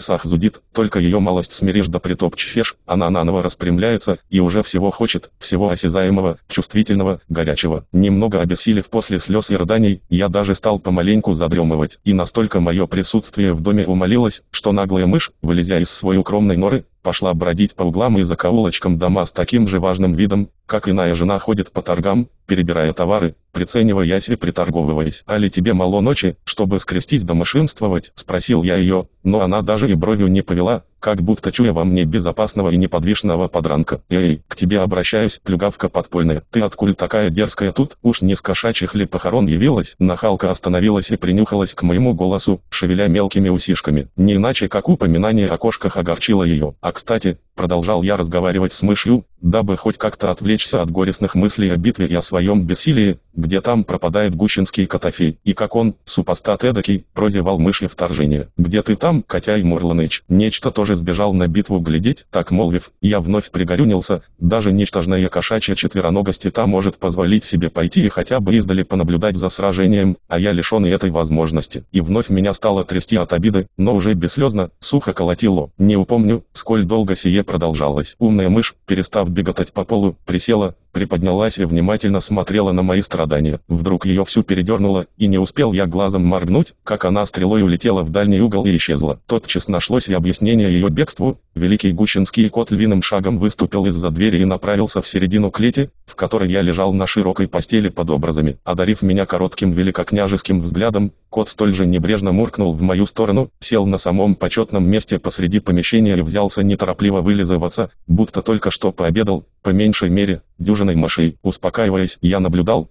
как он прихорашивается, как любовно и старательно облизывает свои полосатые доспехи до сверкающего блеска. «Ты-то хоть видел, кто там кого одолевает, котяйка?» – спрашивал я его, но не удостаивался ровным счетом ни малейшего ответа. «Экое в тебе, братишка, равнодушие. А ведь ты, как ни крути, являешь собой образ и подобие того самого льва, который изображен на стяге нашего князя Александра. Только что тот золотой, а ты полосатый. Он продолжал долго и тщательно приводить в порядок свои шерстяные кольчуги, не обращая на меня никакого внимания, а у меня, как на грех, рана в правой стороне груди стала ни с того ни с сего наливаться болью, все сильнее и сильнее, хоть криком кричи. Поскольку людей вокруг меня не наблюдалось, я мог позволить себе от души постонать, ибо от боли аж задыхаться стал. И так я лежал и стонал, а Котофей все вылизывался и вылизывался, являя полное равнодушие ко всем моим страданиям. И это длилось бесконечно долго. Наконец кот удовольствовался произведенной чисткой, внимательно посмотрел на меня, снова муркнул и вспрыгнул тяжело на мою постель. На мгновение замер, будто прислушиваясь к чему-то и вдруг, прошагав прямо по мне, улегся рядом, плотно прижавшись спиной ко мне справа, именно там, где горело болью. Я хотел было прогнать его, но он так громко и уютно зарокотал, что я передумал, а еще через некоторое время чудо. Нестерпимая боль в груди стала стихать, смиряться и вновь сделалась такой же необременительной, какой была утром. Кот уже не рокотал, забрав мою боль и уснув, а я боялся пошевелиться, чтоб не спугнуть моего полосатого лекаря. Так мы лежали, и кот спал, а я старался дремать, хотя душа моя все равно стремилась на лед Чудского озера, к тебе, светлый мой Славич. Когда прибежал мальчонок Ратмиша, я дремал,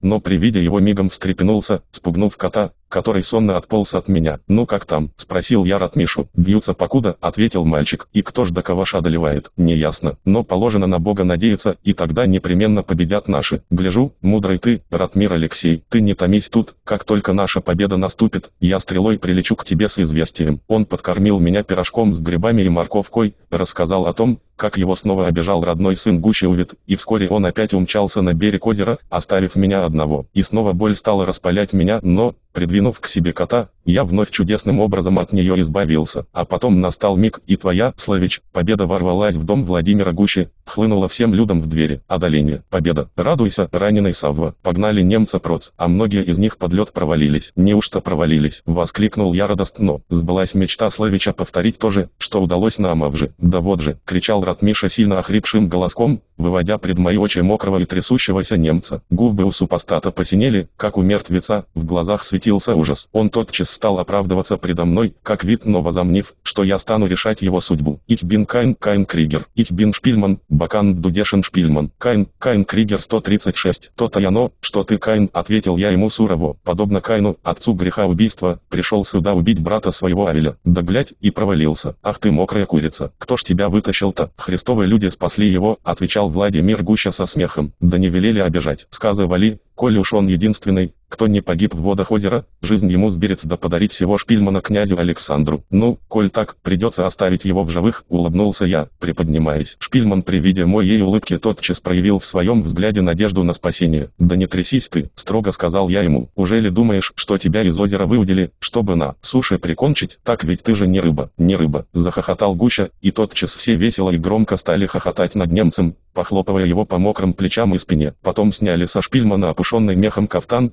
под ним обнаружилась кольчуга, ее тоже сняли, оставив спасенного в одной сорочице. Вид у него вновь был встревоженный. Видать, он подумал, что его токмо ради кафтана и кольчуги временно оставляли на этом свете. К тому же и Ратмиша мой, встав пред Шпильманом, подбоченился и показал ему грозно кулачишка. «Погоди уже, немецкая морда, дай только срок, поганый Каин». А я за всем этим и сам не заметил, как уже свободно и легко сидел на краю своей постели, забыв про все свои раны и боли. Вместо мокрого кафтана и кольчуги Шпильману по моему распоряжению выдали старый кожух, чтобы он мог в него укутаться и немного отогреться. Но его уже явно колотило не столько от холода, сколько от страха за свою подмоченную жизнь. По дому поплыли запахи из печи, в которой жена Гуччи Малуша затевала особенный ужин в честь победы. Твоей, Славич, победы. А я вновь стал изнывать от того, что не могу быть сейчас подле тебя, мой хороший. И что-то вдруг стало подсказывать мне, что и ты теперь наконец вспомянул о своем верном оруженосце, подрубившем столб шатра Бергера, но оказавшемся столь бесполезным здесь, на льду Чудского озера. Волнение охватило мою грудь. Я почувствовал, что ты едешь сюда, ко мне, еще, поди, не зная, жив ли я или умер от ран. И я встал на ноги и пошел к дверям. В глазах у меня все поплыло, Владимир Гуща подхватил меня. «Куда ты? Не втерпешь мне?» – прохрипел я в ответ. «Хочу вон из дома, хочу увидеть мир Божий». Да как же, с такими ранами. Я уже не мог ничего отвечать ему, а упрямо влачил свое ослабленное тело к дверям, стремясь выйти на крыльцо. И до сих пор не могу я никак объяснить, что предвещало мне твое появление, Славич. Но когда я вышел наконец из дому на крыльцо, то так и есть. Увидел тебя, скачущего по мокрому снегу на своем золотисто-буланом айре, золотом в лучах яркого весеннего солнца. И ты подскакал к воротам дома, ворвался во двор,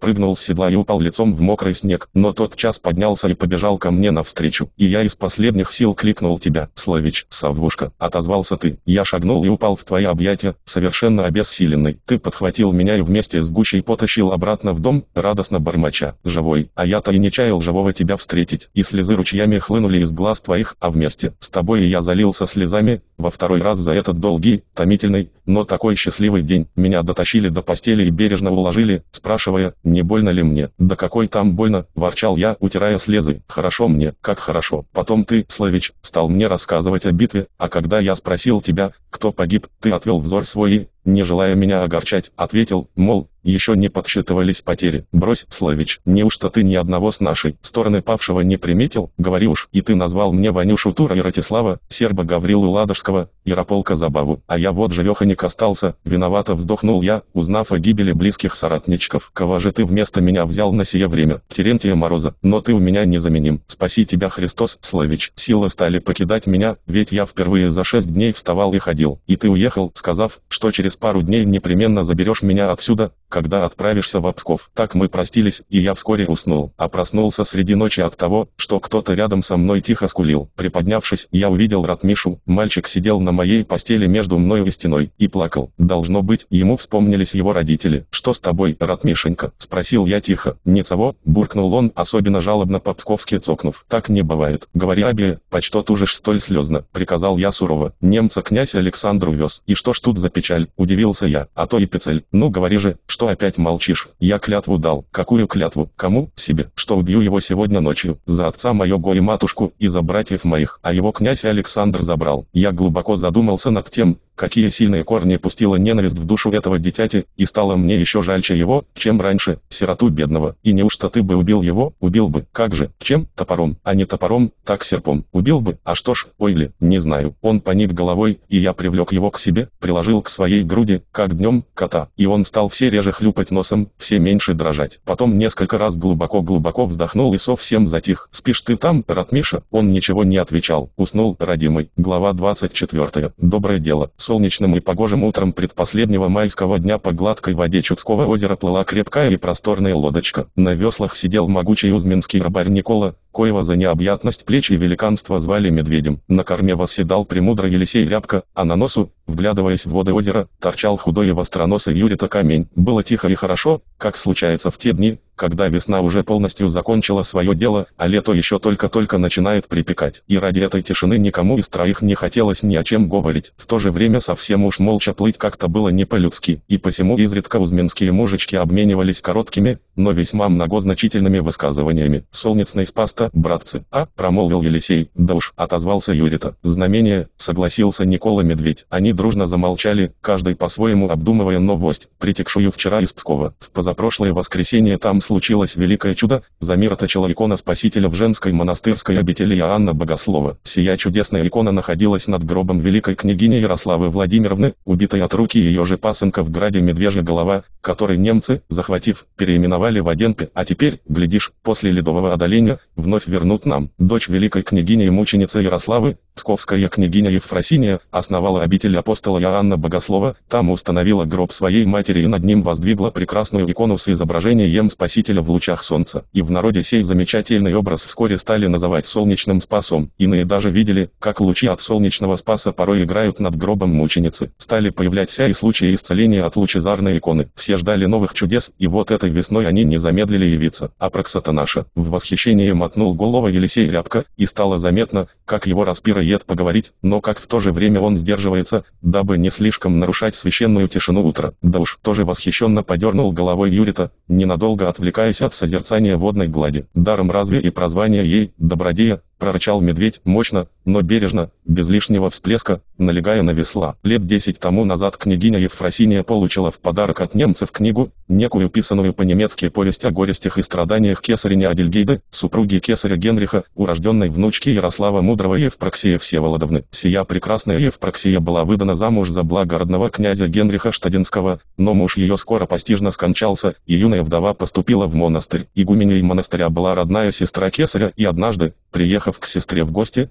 Кесарь пленился красою русской княжны, воспалал к ней страстью и ради того, чтобы жениться на Евпроксии, собственноручно до смерти погубил свою жену. Выйдя замуж за Кесаря, Евпроксия получила новое имя Адельгейда. Поначалу она была даже счастлива со своим вторым Генрихом, но тот тайно поклонялся врагу рода человеческого, совершал страшные обряды и водился с ведьмами, одна из которых, Мелузина, вознамерилась погубить Адельгейду Евпроксию. Так начались страдания внучки великого киевского князя Ярослава. Бежав от изверга мужа, она долго скиталась скиталась по разным странам, добиваясь развода, да так и не получила его. Затем она вернулась в родные края, но тут ее все прозвали Волочайкой, не очень-то разбираясь, зачем она сбежала от законного супруга. И бедная Евпроксия окончила дни своей послушницей при женской обители в Киеве, а за ее смирение и благость монахи удостоили ее чести быть похороненной у самых врат Киева-Печерской лавры. Много слез пролила княгиня Евфросиния над печальной повестью, а когда пришло время принять монашеский постриг, по чудесному божьему изволению имя ей было дано в монашестве, Евпроксия, что значит по-гречески «доброе дело». В простолюде же имя Евпроксия произносилось попроще Апракса, а переводя на русский язык «добродея». Когда князь Александр Ярославич отправился бить немцев на Чудское озеро, игуменя Иоанна Богословской обители Евпроксия денно и ночно молилась о нем перед иконой солнечного спаса. Так страстно и сильно молилась, что в самое утро, когда состоялось сражение, случилось чудо, солнечный спас явил игумене лицезреть всю жизнь Александра, от самого зарождения до самой смерти. Тотчас же она и призналась в том, что ей даровано было сие откровение, поведала обо всем, что ей стало известно о прошедшей жизни Ярославича, утаив грядущее, но провозгласив главное на тот день, что полностью сокрушит он немцев на льду Чудского озера, а многих из них и под лед пустит. Еще она предсказала, что ждать его нужно не прямо сейчас, а ровно через две седмицы после битвы, в Великую Субботу, в тот самый час, когда в Святом Граде и Иерусалиме на гробе Господнем загорается благодатный огонь. Отыскали и список хожения игумена Даниила во Святую Землю 137, где нашли указание на день и час сошествия благодатного огня в Иерусалиме, после восьмого часа дня в Великую Субботу 138. А как она про благодатный огонь-то, а, вновь с восхищением вспомнил недавнее событие премудрый Елисей. Ну, это, да, закивал Юрита и даже прищелкнул пальцами. Великая прозорливица, согласился медведь, продолжая грести. Все вышло так, как было в Откровении игумене Евпрокси. Сразу же после 5 апреля зарядили весенние дожди снегоеды. Дороги все разбухли и раскисли, наполнившись вязкой кашей, состоящей из грязи и снега. Гонец прискакал на третий день с радостным сообщением сведениям о том, что поди немца 500 тяжелых к метеоритарий, а чуди бесчисленное множество, а в плен руками поиша немцев 50 нарочитых мужей, сильных воевод. Счастливая весть так сильно обрадовала псковитян, что некоторые даже Великий пост себе отменили, и их потом обвиняли в том, что из-за такого непотребства Бог не дает Александру дороги для скорейшего прибытия в Псков. До самой Лазаревой субботы дожди шли, весь снег поели дочисто, а в вербное воскресенье засияло солнышко, дороги медленно стали просыхать. В Великую Пятницу новый гонец наконец прискакал с известием о том, что солнце князь Александр уже в Избарске и завтра к полудню намечает прийти в Псков город. С самого раннего утра в Великую Субботу все духовенство Псковское собралось в Иоанна Богословской обители, и пред иконой Солнечного Спаса сотворили большой молебен, после чего икону отняли на время от гроба Ярославы Владимировны и понесли навстречу Светозарному Ирою 139 русскому, и прозорливая игуменя Евпроксия поставлена была идти впереди всех с серебряным крестом в тонкой ручке, а этих-то, так, говоришь, босиком и вели,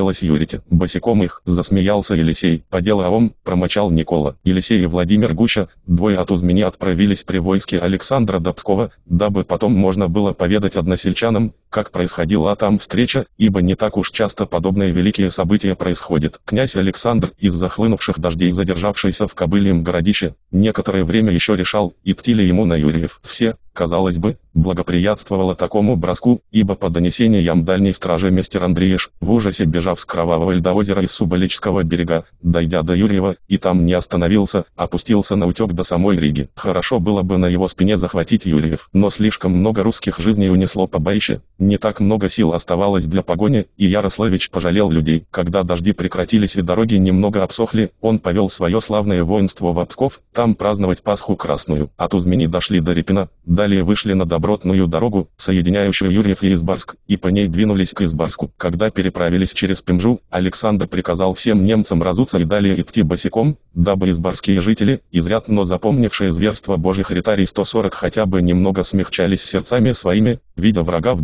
босом и жалком виде. И ни у кого не было жалости к проклятым пленникам. Да к тому же, ведь и не по снегу же им приходилось чапать, а всего лишь грязь месить ножищами своими, хоть и холодную. А ничего, терпите, дудыши. Были бы вы званые гости, мы б вам лучшую обувку сами отдали, а не званых, да еще таких лютых, босиком, босиком. Но все же их, стервятников мерзких, без куска хлеба не оставляли, кормили чем Бог послал, заставили Великий пост по-русски допоститься, со всякими народными постными изобретениями, коими славит вся Русь наша святая. Ничего им полезно, а то ведь они там у себя в Дудишландии не только рыбу, но и птичье мясо во время строгих постов дозволять стали, христиане попежные. Так, сытые, но босые, они пешочком в Избарск входили. В Избарске не удалось всех уберечь. Троих местные жители тайком выкрали и казнили. И трудно было осуждать избарчан за такое недоброе дело, ведь как припомнишь, что немцы в Избарске вытворяли, волосы дыбом становятся. А мне, как вспомню Мишку, мальца жалко, вздохнул Никола Медведь. Цваш его жалеть, в такие руки попал, молвил Юрий-то камень. Нет, я про то, как он немца не мог зарезать. Помнишь, Елисей, ты рассказывал, еще б не помнить, вздохнул Рябко. Сопровождая победную рать Александра, Владимир Гуща продолжал ухаживать за выздоравливающим княжьим отроком Савой, раненым в Мостовской битве. Саву везли в отдельной повозке вместе с племянником Гучи Ратмишей, коего Савва выпросил себе в усыновление. Гуща бы, глядишь, и не согласился отдать Савве сиротинушку, вся семья которого была истреблена немцами в Избарске. Но Ратмиша сам принялся умолять родного дядю отдать его в сыны к оруженосцу князя Александра, и Гуща согласился.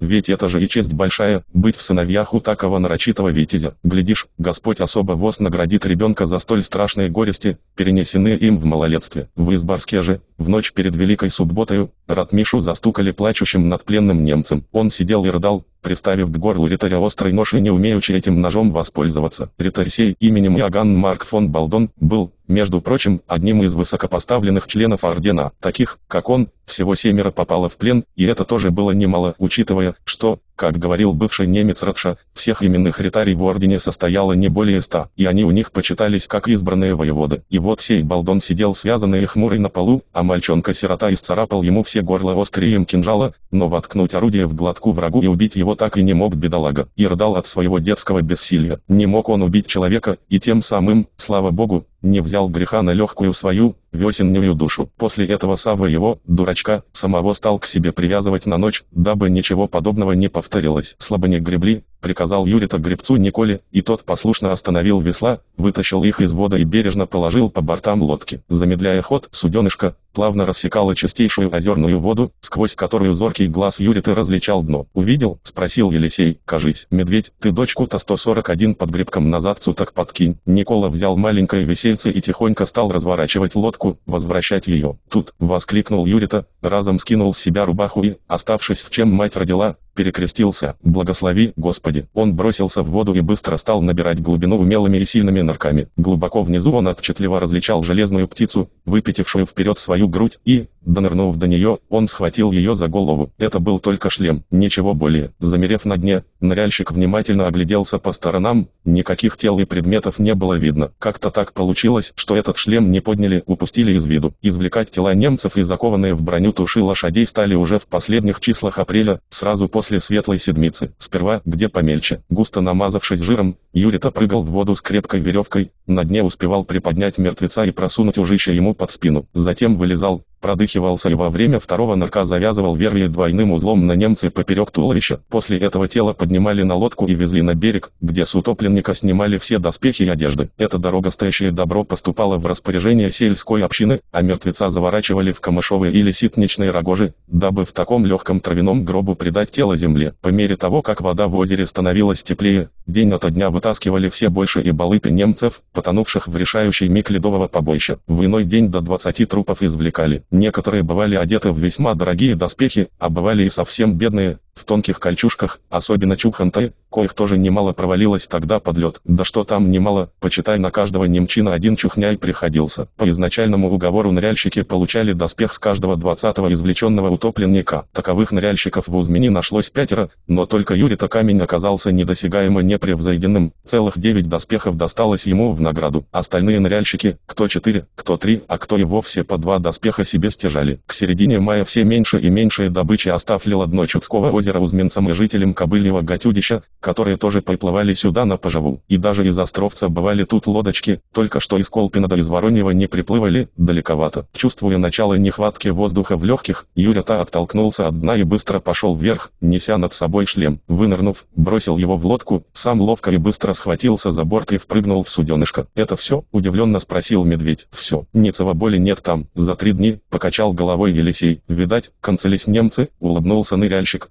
глядя, как весело сверкают на солнце золотые капли воды, бегущие у него с волос и с носа. «Все равно, еще покатаемся», — сказал Медведь, ибо недавно решено было, что если кто впредь поднимет что-либо с дна озера, то добро ему и достанется. Да почему бы не покататься, погода добрая, согласился Елисей Рябко, вертя в руках и рассматривая красивый немецкий шлем, украшенный горделивым орлом. Выпитив вперед грудь, птица отвела назад крылья, будто готовясь совершить решающий бросок на добычу. «Плывем», — махнул рукой Юрита, радуясь, что нет больше на дне страшных раздутых утопленников, которых ему надо обвязывать веревкой, чтобы поднять со дна озера синих, изъеденных рыбами и раками. Лодка, понуждаемая веслами, устремилась по воде дальше. Шлем с немецким орлом, брошенный на дно лодки, сверкал на солнце, которое сегодня обещалось быть жарким. Долго плыли в полном молчании, покуда Елисей вдруг не хлопнул себя ладонью по коленке. «Что такое?» Тотчас полюбопытствовал Юрита. «Братцы, а ведь, Тацна, да же, братцы, солнечный спаста, он ведь когда за миротоцел, сказывали, а позапрошлое воскресенье, в неделю святых отец, а 17 мая, правильно, а ведь мы тогда как раз и последний го немца со дна подняли, верно, после того дня ни одного дудыша больше не извлекли, ишь ты, а ведь и впрямь, глянь-ка, знамение, так и того мало, ать, двась, Сегодня-то какой день? 30 мая. День на рождение нашего князя-избавителя, Александра Ярославича, а кого же еще? Вот нам и подарок от него, сия птица, недешевый шелом. Храни тебя Бог, Александр. Все трое перекрестились и невольно взглянули на небо. Там, расправив крылья, величественно плыл орел. Комментарии. Один в старину Плещееве озеро называлось Клещина. Два Александр Невский родился 30 мая, 12 июня по новому стилю, 6728 года от сотворения мира, 1220 года от Рождества. Христова. Триагарянами на Руси называли арабов и турок, а затем и монголов. 4К или воен мягкий знак, Т, Е, колыбель, исконное русское название Таллина. Датчане называли Колывань Линданисе, Т, Е, датский город, потом они же дали иное наименование, Ревель, просуществовавшее с 13 века до 1917 года, когда большевики переименовали город в Таллин. Слово Таллин, производное от древнеэстонского Тенелины, Т, Е, датский городок. 5 Сумейская земля, Сумеем, Финляндия. 6 районы Новгорода назывались концами, Неревский конец, Славянский конец, Людин конец и Т, Д. 7 1237 год от Рождества Христова. 8 Испалать, древнерусское приветствие, от греч, Эйс Паллаэти, многое лето. 9 в Древней Руси север называли полночь, полуночь а юг – полдень, полудень. Десять окраины княжеств так и назывались Украины. Одиннадцать отроками назывались личные слуги и оруженосцы князя. Двенадцать Славянская, Новгородская земля, Залесская, Ростовская земля, Нижняя, Понизовье, Суздальская земля и Поволжье, Русская, Киевская Русь.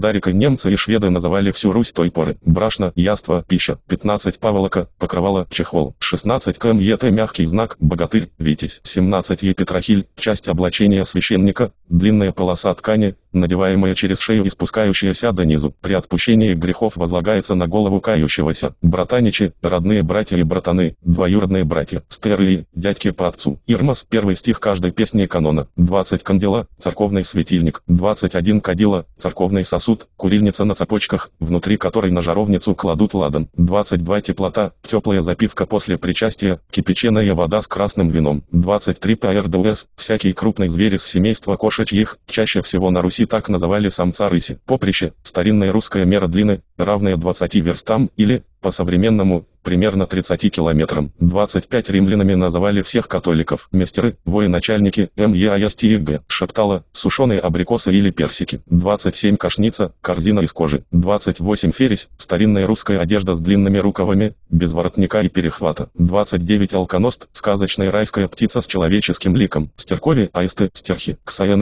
река в Ликее, горной области Малой Азии. 32 исмарагд, древнерусское название изумруда. 33 малахитовый сундучок. Хлопуша, небольшая плетка, 35 АЛТАПС, от арабского альдебадж, самая дорогая ткань с серебряными или золотыми узорами, ее привозили из арабских стран. Рефить, клетки, 37 Эр-Яса, решетка, 38 вскиску, сплошь, 39 трапеза, престол в алтаре, угорские земли, Венгрия, угры, венгры, Аллатырское море, Балтийское, от слова Аллатырь, так в старину на Руси называли янтарь. 42 всех европейцев на Руси называли либо немцами, либо римлянами, либо латинами или латынами. Свей, шведы, чуть, чухна, чухн я, чухонцы, так на Руси называли предков народа, который теперь известен нам как эстонцы. ИДЕРПТ, Юрьев, с 1030 по 1224, Дорбете, впоследствии Дербт, с 1224 по 1893, в 1893 году Александр III вернул городу русское название Юрьев, по христианскому имени основателя этого города Ярослава Мудрого, а с 1919 года и по сей день он незаконно называется Тарту. 4.1 Аймавша, русская река, впадающая с запада в Чудское озеро. Немцы называли ее Имбах. Теперь, оказавшись в Эстонии, она называется труднопроизносимым словом Имаяги. Шелепуга, дубина, палица. ТСМА, лента, лефант, древнерусское наименование слона. МКР Зено, плащ, мантия. 51 экзовые сапоги, то же самое, что софьяновые. Софьян появился на Руси позже, до него подобной выделки кословая кожа называлась хос. Кипчаки, кочевые племена на севере Средней Азии. Кипчакские кони, ахалтикинские, одна из древнейших и лучших пород лошадей. МРМЕИ, рамейцы, византийцы. Византия была традиционным поставщиком лошадей на Русь. МФР мягкий знак, в 13 веке слово не менее распространенное, чем конь. Камчатная, из камки, дорогой китайской шелковой ткани с разводами. Г1. ФЕЛН мягкий знак, верхняя риза священника. ЕМИ, когти ловчей птицы. ЕМИНА, добыча ловчей птицы. 5. Я Венгрия также являлась одним из основных поставщиков лошадей на Русь. 59. Имя Юрий вплоть до 16 века на Руси имело такой вид, Юрги. ММЕТ мягкий знак Ю, галопом. 61. Три рыбка, колыбелька, килимные полсти, ковры, дорогие ковровые скатерти. МПЕН язы, деньги. Аскелоп, Искулап, Галин, Гален, Амир, Гомер. На прочтение молитвы «Отче наш» уходит около 20 секунд. Прочтение символа веры, верую, требует немногим более одной минуты. 68. Срезка, остро остроконечная стрела, тамарка, тупоконечная стрела для битья пушного зверька, дабы не испортить ему шкурку. 70 китовраз, кентавр, шнека, боевое скандинавское судно, Левант, во времена средневековья общее обозначение Ближнего Востока, Хольмгард, западноевропейское наименование Новгорода. 74 схизматическая ересь, так в Европе называли нашу истинную русскую православную веру христианскую, Финмарка, Финляндия, Ватландия, Ингерманландия и Лапландия, не путать с Лапландией, Водь и Жора и Лобь, области к югу от Невы, принадлежавшие Новгороду. Чурка, шведская кирха. 78 Яйрель, в Швеции герцог. 79 Невское озеро, озеро Нева, так тогда называлось Ладожское озеро. 80 Зарянами в древности на Руси называли Коми и Пермиков. 81 АКИТ, пограничник. 82 АЦТ, уксус. 83 по ДЦИ, шпоры. Взбоднуть коня, пришпорить. 84 Пернач, тяжелая и длинная дубина, иногда цельно-металлическая, со звездчатыми зубцами наверху. 85 крапила, боевой цеп, у которого в качестве верхней гозвена может служить булава, палец и даже молот. Фортмер, Вортмер, далее, вперед. 87 пер ек не штуки, брикин и стук, уплатите одну гривну, древненемецкий. Берлюдники, торговцы привозным немецким пивом, от древненемецкого Берлуден. 89 в самом начале третьего крестового похода один из его главных участников Фридрих Барбаросса погиб самым нелепым образом, утонул в тяжелом доспехе, свалившись с коня в неглубокую речку Селефу. 90 Инкерии, в германо-скандинавской мифологии духи павших воинов. 91 Волгалла, небесный небесное жилище павших воинов. 92 Вильбут, верблюд. 93 цитата из МФ. 19, 24. 94 Чейели, форма союза или, весьма распространенная в Древней Руси. 93 КМПН, церковный колокол. Плесковское озеро, так в старину называли озеро Псковское, да и сам город Псков часто именовался Плесков или Песков. 97 Терпентин, Скипидар, Синель, Черника, Стрекава, Крапива, Баркан, Морковь, Псковск, Плескаву или Плескове, так Псков называли немцы, развивая свою политику расширения жизненного пространства для германской нации, столь знакомую нам по событиям 1941-1945 годов, они дали свои наименования всем без исключения географическим понятиям Руси, которая должна была со временем принадлежать немецкому народу. Имбах – немецкое наименование реки Амавжи. ПЕ и краткое ПУС – немецкое название Псково-Чудского озера. Эстонцы называют его Пипсиерф. 101 ИНГЕРА и Жора. 102 Черная Русь, пограничье нынешней Белоруссии и Польши с городами Гродно, Слоним, Волковыск и ДР. Товарный знак Наугард, Новгород. 101 Переслав, Переяславль. 10 Фокт. Наместник, управитель. Вадландия, Водь, Водьская Петина. Территория между реками Луга и Волхов, принадлежавшая Новгороду и заселенная вожаками, уграфинским племенем. 107 Эзеель мягкий знак, немецкое название острова Сарой, ныне принадлежащего Эстонии и называющегося Сарима. Архипелаг Манзунд в раннем средневековье был освоен русскими мореплавателями и населен славянами. Второй по величине остров Дагон теперь называется по-эстонски Хиюма. Город Оренсбург, ныне Кингисепп, по-видимому, был построен Тевтонским орденом, покорившим острова в XII веке. Один Пенайрова,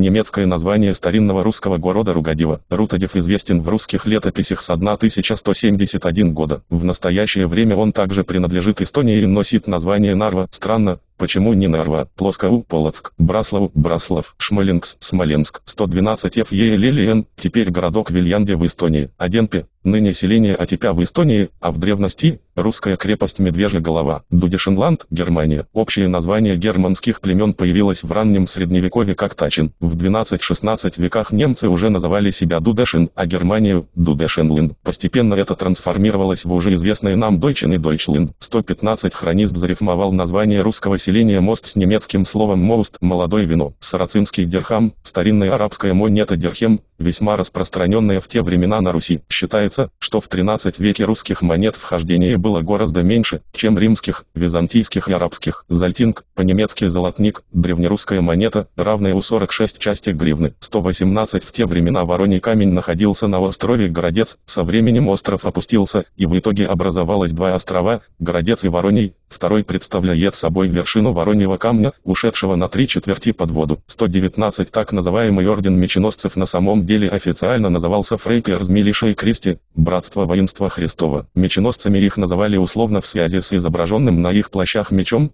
пересекающимся с крестом. 120 Шемуде мягкий знак, литовское племя жамайтов, земгалы, латышское племя, Саули, Готсксойл, Солнце, старинный город, ныне, Шаулей в Литве. 121 нынешние острова Азалиц и Станок в то время составляли единый остров Азалицу, отделенный от острова Городец проливом Сеговица. Сарацинское пшено, рис, шептала, сушеные абрикосы, провесной виноград, изюм, ошастанное проса, пшено. 123 Канайразе, вепрь, кабан, церковно-славянское, Дамкирхе, немецкое название Домского собора в Риге, заложенного в 1211 году. 125 Покляп, покляпый, нескладный, кривой, нелепый. 126 Мы скачем и скачем и поем, нем. 127 Зовем и зовем смерть, нем. 128 Натиск, натиск, сила и натиск, рата плам дон деридон, нем. 129 ТЕН Йота, ловчие сети. 13 Тулумбас, тяжелый военный бубен, по которому били вошагами, плетками с шариками на концах. Кандак – церковное песнопение, содержащее в себе краткое описание жизни святого или смысла и истории простника. Калиги – легкая обувь, летом и вовсе состоявшая из одной подметки и тонкого ремешка. Ша я не воин, я шпильман, нем. 131 да, шпильман, я немецкий шпильман, нем. 110 я не не воин, я шпильман, знаменитый немецкий шпильман, я не воин, не воин, нем. Один як хожение игумена Даниила, Первое русское полноценное литературное свидетельство очевидца о сошествии благодатного огня в храме Воскресения Христова в Иерусалиме, написанное в начале XII века, оно было чрезвычайно популярно в домонгольской Руси да и впоследствии не утратило читательского интереса. В старину время исчислялось от рассвета. В конце апреля и в начале мая светает в 6, а, стало быть, 8 часов дня соответствует, по нашим нынешним понятиям, два часам пополудни, будучи сам очевидцем, могу свидетельствовать, что в Великую субботу 21 апреля, 4 мая, 2002 года сошествие благодатного огня в храме Воскресения Христа Христова в Иерусалиме произошло в 15.07 по московскому времени, что соответствует 14.07 по времени Иерусалимскому. Ирой, герой, древнерусское. Гац Риттер, божьи рыцари, так горделиво называли себя рыцари Тевтонского ордена. Дочка, лодка, Псковск. Содержание. Невская битва. Энциклопедическая статья 5. А. Сигинь. Солнце и земли русской. Исторический роман. 7. Комментарии. 502. Литературно-художественное издание. Александр Юрьевич Сегень. Солнце земли русской. Исторический роман. Ведущий редактора В. Варламов. Художественный редактор О. Н. Адаскина. Технический редактор Е. П. Кудеерова. Корректор И. Н. Макина. Компьютерная верстка Е. Л. Бондаревой. Компьютерный дизайн Ю. А. Хаджи. ООО издательство АСТ 170002. Россия. Г. Тверь. ПРТ Чайковского. Д. 2732. ООО издательство Астрель 129